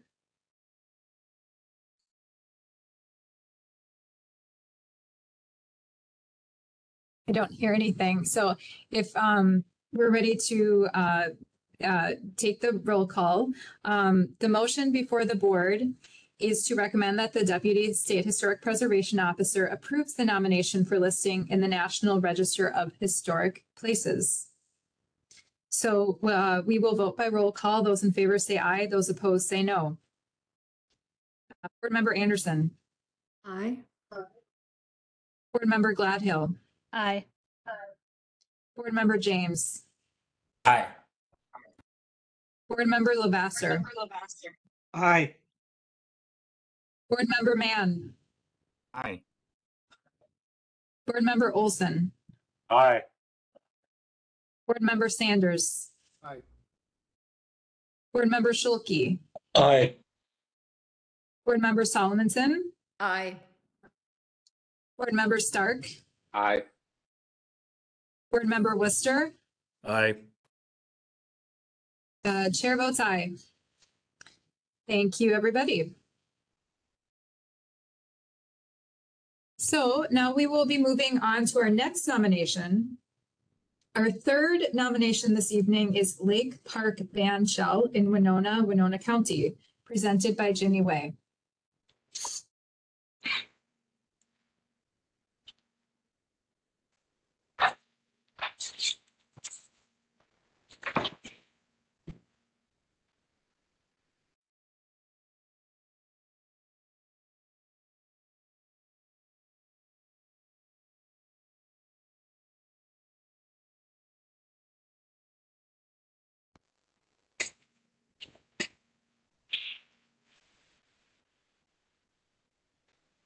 So, I don't- Lindsay, oh, this is, this okay. is Michelle.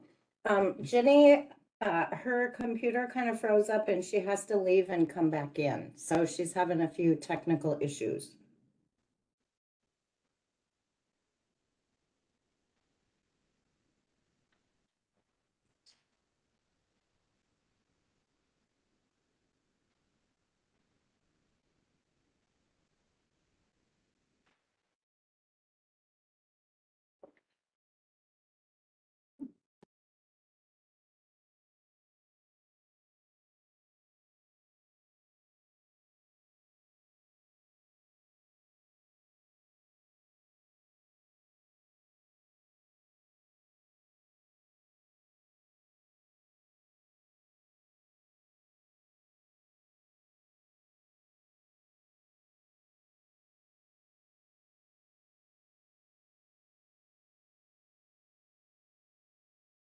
Jenny, we see you, you made it back on. Um, when you're ready, we are ready for you.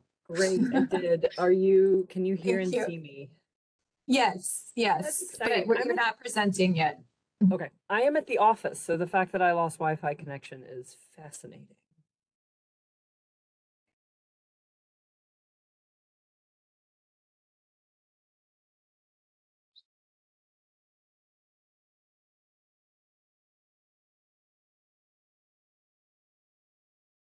I'm working on sharing now. Please bear with me.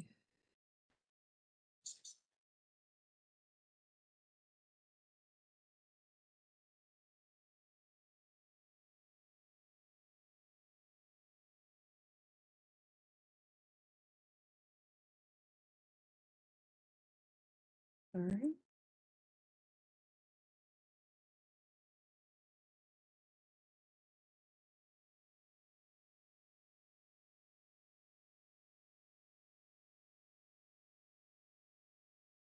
Okay, I think I got it. Wonderful. So, thank you. Thank you, Chair Dyer. Um, this nomination tonight is the Lake Park Band Shell in Winona, Winona County. The author is Greg Gaut. This nomination was made possible by funding through the Minnesota Histo- Historical and Cultural Heritage Grants. The Lake Park Band Shell is located north of Lake Winona within the circular drive formed by Park Drive on the north and Lake Park Drive on the south. West of the band shell is an audience seating area composed of metal benches arrayed in a wide arch around an oval-shaped grassy area. West of the seating area is a parking lot designed to allow audience members to hear concerts from their cars. The band shell is a stilted spherical half dome that has an outside diameter of roughly 42 feet. The stilted half dome is set on a concrete platform roughly 42 inches above grade. A wide stilted Roman arch frames the open end of the dome. At right is the front or west facade of the band shell, camera facing southeast. At left is a photo of the dedication of the Lake Park band shell in on June 15, 1924. The Winona Park Board began to explore creating a park around Lake Winona in 1900. In 1905, they began proceedings to take shoreland by eminent domain. The board then hired O.C. Simonds, a Chicago landscape architect, to draw up plans for a stable lakeshore and surrounding parklands. Lake Park needed a bandstand because Winona, like all Midwestern towns of the era, had an active musical culture. The musicians needed places to play. However, it was the formation of the Winona Municipal Band which made the construction of a substantial permanent band shell a priority. At left, we see the rear or east facade of the band shell, camera facing west. At right is the south facade, camera facing northwest. The first concert of the Winona Municipal Band took place on August 9th, 1915. Several thousand people came to hear the band play on a makeshift bandstand. Despite the popularity of the entertainment, the park board had difficulty securing the funding for a, for a formal bandstand. The onset of World War, World War excuse me, World War One also led to significant delays in construction. It wasn't until 1923 that they were able to move forward with the project. At left is the north facade, camera facing south. At right is a photo of construction taken in the fall of 1923. In spring of 1923, the park board hired Edwin Clark from Chicago arch- architectural firm of Clark and Walcott to design the band shell. Clark is, designed the structure with a classical revival detailing. This included engaged columns and pilasters, as well as classically inspired niches. At left is a detail of paired engaged columns on the northern stilt of the arch, camera facing east. At the center is a photo of the 1954 Memorial Day observance of, at the band shell. And at right is the detail of an alcove of the northern stilt of the arch, camera facing north. The Winona Municipal Band presented its first regular summer concert in the new band shell on June 25th, 1924. From that point on, they they presented regular summer concerts at the ba- band shell, usually on Wednesday nights, which continue to present day. At left is the band shell seating, camera facing west. At right is the storage room below the stage, camera facing north. The period of significance for this property is 1924 to 1973.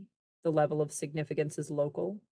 The National Register criteria are A and C. The areas of significance are entertainment, recreation, and architecture. The period of significance begins in 1924 when the band shell was completed and dedicated, and ends in 1973, 50 years from today's date, in accordance with the National Park Service guidelines. From 1924 until present day, the Lake Park Bandshell has been the city of Winona's pr- prime outdoor venue for music, including concerts by the Winona Municipal Band. It is also a distinctive example of the classical revival style as applied to bandshells. For these reasons, the Lake Park Bandshell is eligible for listing in the National Register of Historic Places. There is no correspondence related to this property.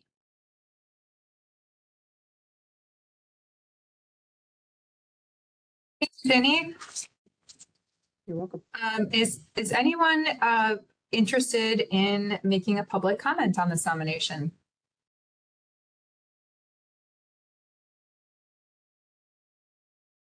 Do not see anyone waiting in chat. John, is there anybody else that you can see was maybe called in or? No, no, we got nobody waiting to speak. Oh, wait, you do have a question? Yeah, so we have a question from um, Commissioner Alice Roberts Davis. What were the alcoves used for? I don't know if Greg Gaut is here.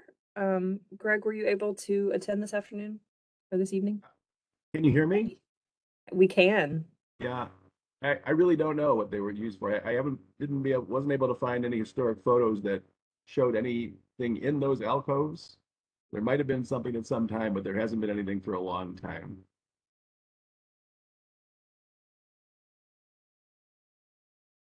Thanks, Greg. We appreciate that.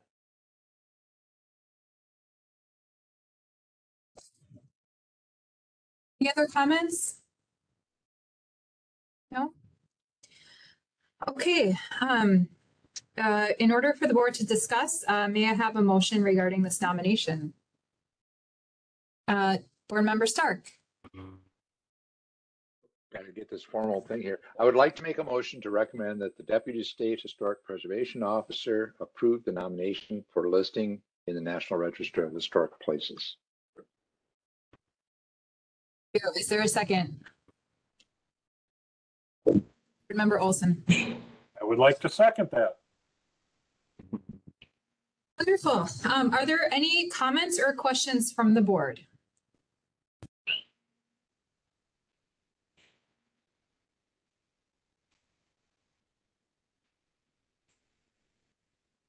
Uh, Board Member Stark.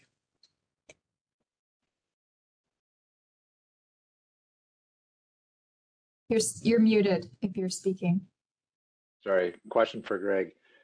On the parking lot and the uh, seating area, it seems that that was a part of an original design. Is the layout that's currently there probably for the seating might be similar, but parking looks like it's expanded or changed? Yeah, so um, that area has actually gone through a lot of changes over the years. Uh, the, the seating was changed three different times. And um, I'm sure the parking lot is, expanded also. I mean, one of the things that happened um, right to the um, to the west of the um, parking lot was there was a whole Veterans Memorial that was created. And so that was, that was a part of a big change that happened there at the same time. I should say, John, that uh, this year, uh, you know, next year, 2024, the uh, city of Winona is going to have a big celebration celebrating the centennial of the band shell. And uh, they are committed to uh, doing a lot of work to prepare for that. So there'll, there'll be some uh, upgrading of the band shell itself, uh, concrete repair, some, some structural repair underneath, repainting it, and also upgrading the lighting and sound systems to make it a better venue for musical performance. But they're also doing some independent fundraising uh, to try to uh, reconfigure the landscaping um, around the uh, uh, around the band shell and redoing the chairs or the seating arrangement. The seating is really got to be changed. It's been changed three times and it needs to be changed again. And um, there's a talk about making that parking lot a little bit smaller uh, and having some other parking in other areas so there could be more uh, flexible seating, for, room for people to bring their own chairs like people like to do with these outdoor concerts. That's a little bit controversial in Winona because you may recall from the nomination that people in Winona like to come to the, the Winona band concerts and sit in their cars and then after each number honk their horns uh, in, in place of applause. So they're going to have to keep some places for people to do that, but not have quite as much uh, parking. It is a unique layout that seating would go right through the middle of the parking and you can, and it's kind of like a drive-in band shell. Yeah, uh, on that. exactly. And that looks historically what it was, which is interesting. Okay, thank you, Greg. Yep. Any other comments from the board? Please raise your hand.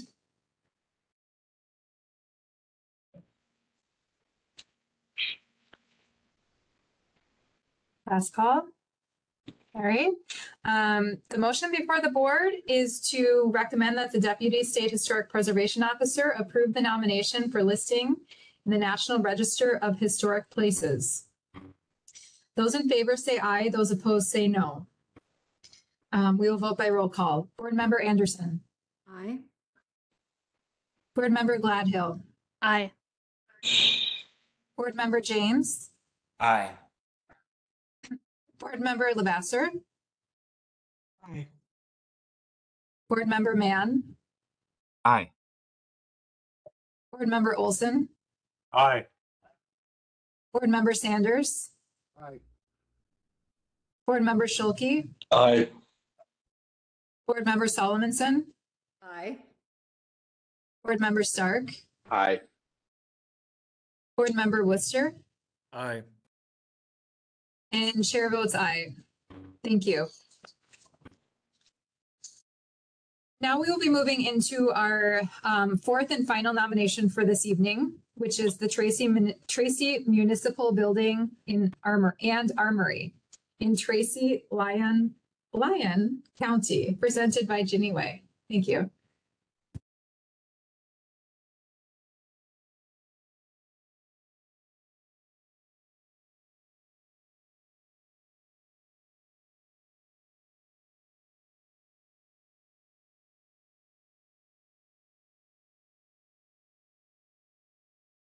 Thank you, John. I think you unmuted me. Can y'all hear me okay? Perfect.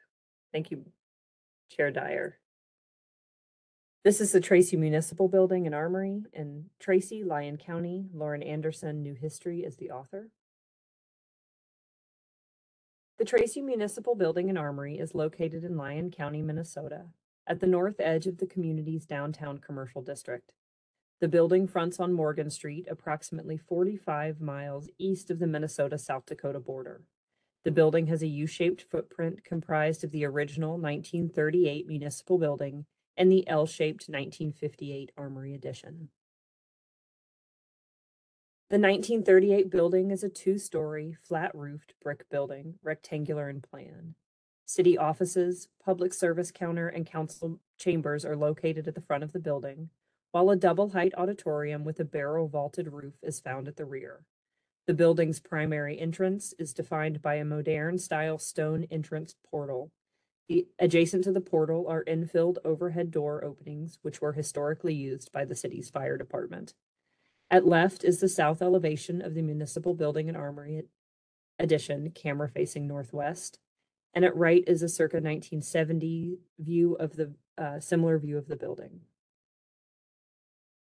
The 1958 Armory addition is one is a one and two story flat roofed brick addition.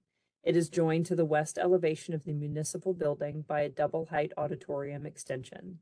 This construction campaign extended the original auditorium footprint approximately 85 feet to the west.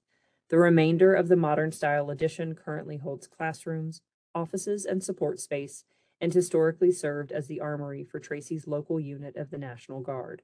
At left is the- Tracy Municipal Building circa 1960s. At right is the south and west elevations, uh, camera facing northeast. The original municipal building was constructed using Public Works Administration or PWA funding. The PWA was one of an extensive program of federal aid intended to promote economic recovery during the Great Depression. The focus of the PWA program was to encourage economic recovery by funding new construction projects. At left is the south elevation, camera facing north. At right is the west elevation of the Armory addition, camera facing east. On August twenty-fourth, nineteen thirty-seven, the city received the long-anticipated allocation from the PWA. The drawings for the municipal building were finalized by architect Philip Charles, or PC, Bettenberg. The drawings indicate the building was designed to house the fire department, the public library, the city council chambers, the offices of the city clerk, and the municipal judge, as well as a large auditorium. At left is the firing range of the Armory Addition, camera facing northeast. At right is the first level city council chambers in the municipal building, camera facing southeast. In nineteen, the building, when constructed, consolidated the city's scattered municipal services into a si- single modern facility. The auditorium functioned as a community center, providing gatherings and event space for Tracy residents. At left is the lower level stair lo- lobby of the municipal building, camera facing northwest. At right is the first level stair in the municipal building, camera facing southeast. Additionally, the building was utilized by the Tracy National Guard as early as 1947, when the local guard unit was established. It was not until the construction of the building's 1958 Armory addition, however, that the Guard received their own purpose-built space at the property. At left is the first level corridor in the municipal building, camera facing north. At right is the second level stair lobby in the municipal building, camera facing northeast. This unit, along with another in Marshall, Minnesota, represented the first two National Guard units ever established in Lyon County. Enrollment in the Tracy unit was opened in September of 1947 and was activated the next month with a total of 38 men. Enlistment continued to grow, and the company enjoyed one of the best enlistment records in the Midwest. At left is the south elevation of the Armory Addition, camera facing north. At right is the first level corridor in the Armory Addition, camera facing west. Tracy City officials purchased the lot immediately to the west of the municipal building in 1948 in anticipation of armory construction. However, the National Guard believed the unit had sufficient space within the building and deprioritized funding for a new armory. At left is the first level auditorium looking into the original municipal building, camera facing northeast. At right is the first level auditorium looking into the 1958 addition, camera facing southwest. You can see the addition, where the addition um, and the original building meet at the line in the center where the um, the ceiling structure, the roof structure changes. By July 1956, the National Guard's position had changed and plans for the auditorium and addition were drafted by the architectural firm of Bettenberg, Townsend, and Stoll. The initial armory addition consisted of two components. The first one, the first was a one over two and two story wing with classroom, offices, and other guard facilities. And the second, a double height auditorium extension to the existing municipal building auditorium. At left is a second level meeting room in the municipal building, camera facing west. At right is the mayoral office in the municipal building, camera looking east. In addition to providing facilities for the National Guard, the auditorium expansion ensured that the municipal building continued to function as a community gathering space for the city. The Tracy National Guard continued to occupy the armory for over three decades. At left is the second stair lobby at the Armory Addition, camera looking east. At right is the second level storage room in the municipal building, camera looking east. The Tracy Armory remained in operation until 1992, when the federal government directive to reduce National Guard strength resulted in the closure of Tracy's Armory, along with 11 others in Minnesota. That year, the city purchased the Armory Addition and reopened it as the Veterans Memorial Center, which today serves as a venue for sporting, community, and private events. At left are the stairs at the second level of the Armory Addition, camera looking east. At right is the second level classroom of the Armory Addition, camera looking west. Here are two additional exterior views. At left are the west and the north elevations of the Armory Addition, camera facing southeast. At right is the east and north elevate elevations of the auditorium, camera facing southwest. The period of significance for this property is 1938 to 1973. The level of significance is local. The National Register criterion is A. The areas of significance are entertainment and recreation, politics and government, and military.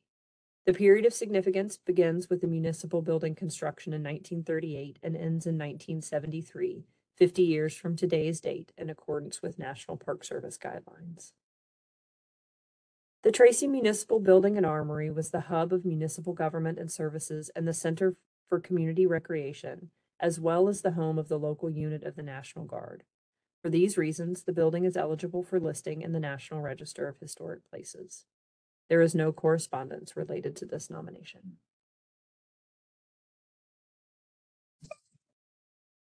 Jenny, are there any comments um, from the public regarding this nomination?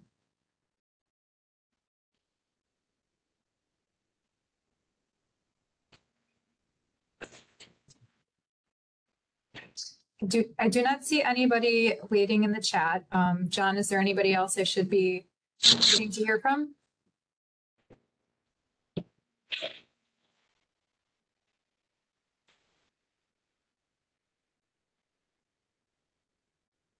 No, no raised hands, nobody in the chat. Okay, great. Um, all right, so the public comment period is now closed. In order for the board to discuss, may I have a motion regarding this nomination?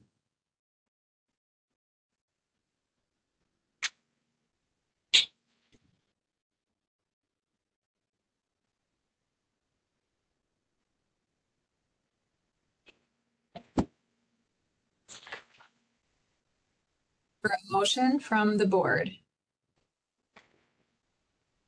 Yeah, um, uh, board member Sanders. A, a motion to recommend that the Deputy State Historic Preservation Officer approve the nomination for uh, listing i- in the National Historic Registry of Historic Places. All right, is there a second?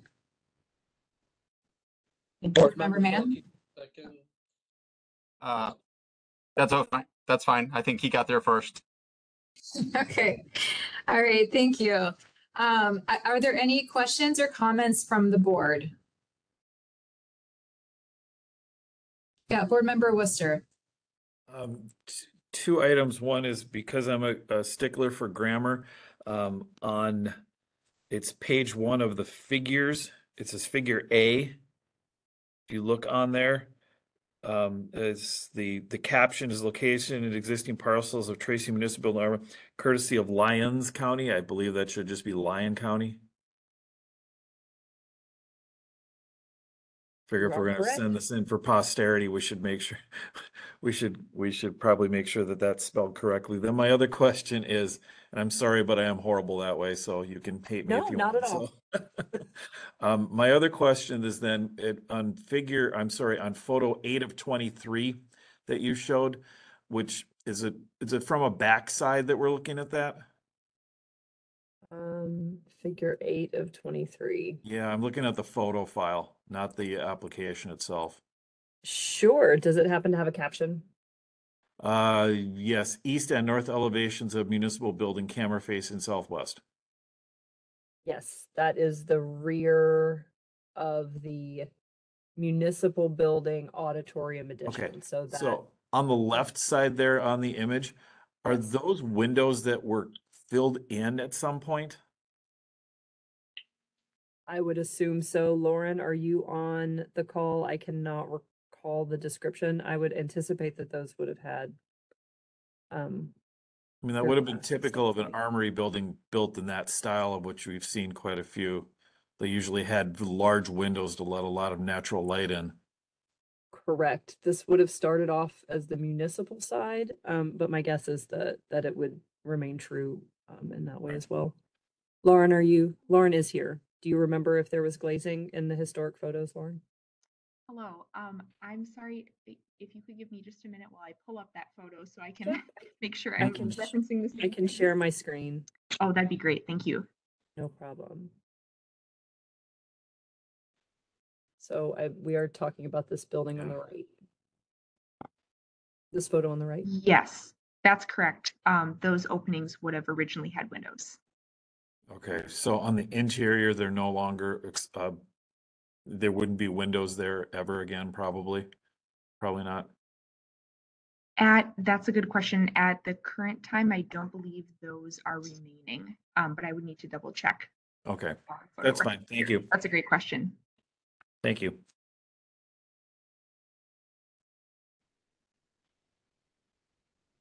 Are there any other questions from the board or comments? Yep, um, Board Member Stark. Yeah, um, I, saw someplace in there because of the addition of the armory that it's not eligible for um, depression era work program kind of stuff. But I, I also noticed that they mentioned, according to the Tracy Herald, um, the plans were revised several times in an effort to provide a structure that would blend with the municipal buil- building. And I think they did a good job for a 1958 time period. It's kind of unique to have that um, type of thing to blend in. Um, so it, it really does help. It'd be nice to see those infills and those cheap vinyl windows replaced, but that can happen. That can indeed, and Board Member Stark, we did consider um listing the property under criterion C, but the MPDF is very clear on the integrity requirements, and the addition was too large and too prominent for us to to really feel like the the building fit under those. Um, and there are not a whole lot of these out there, so we don't have a standard plan to compare it to with regard to whether or not it represents a a particular style or type of building.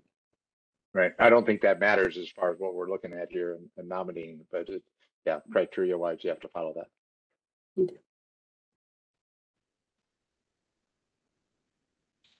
Other comments from the board?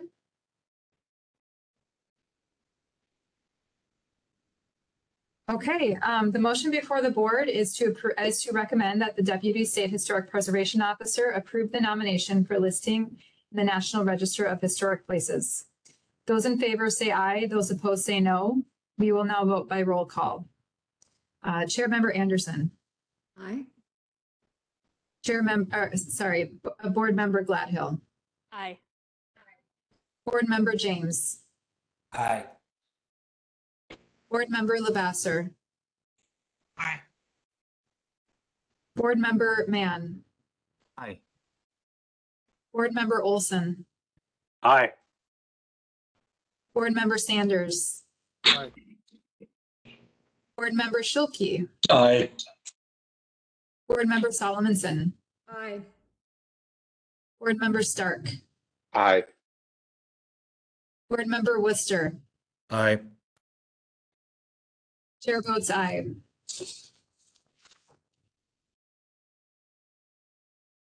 So, uh, this concludes the presentation of nominations se- uh, section of our meeting. Are there any additional business items to discuss from the SHPO staff or board members?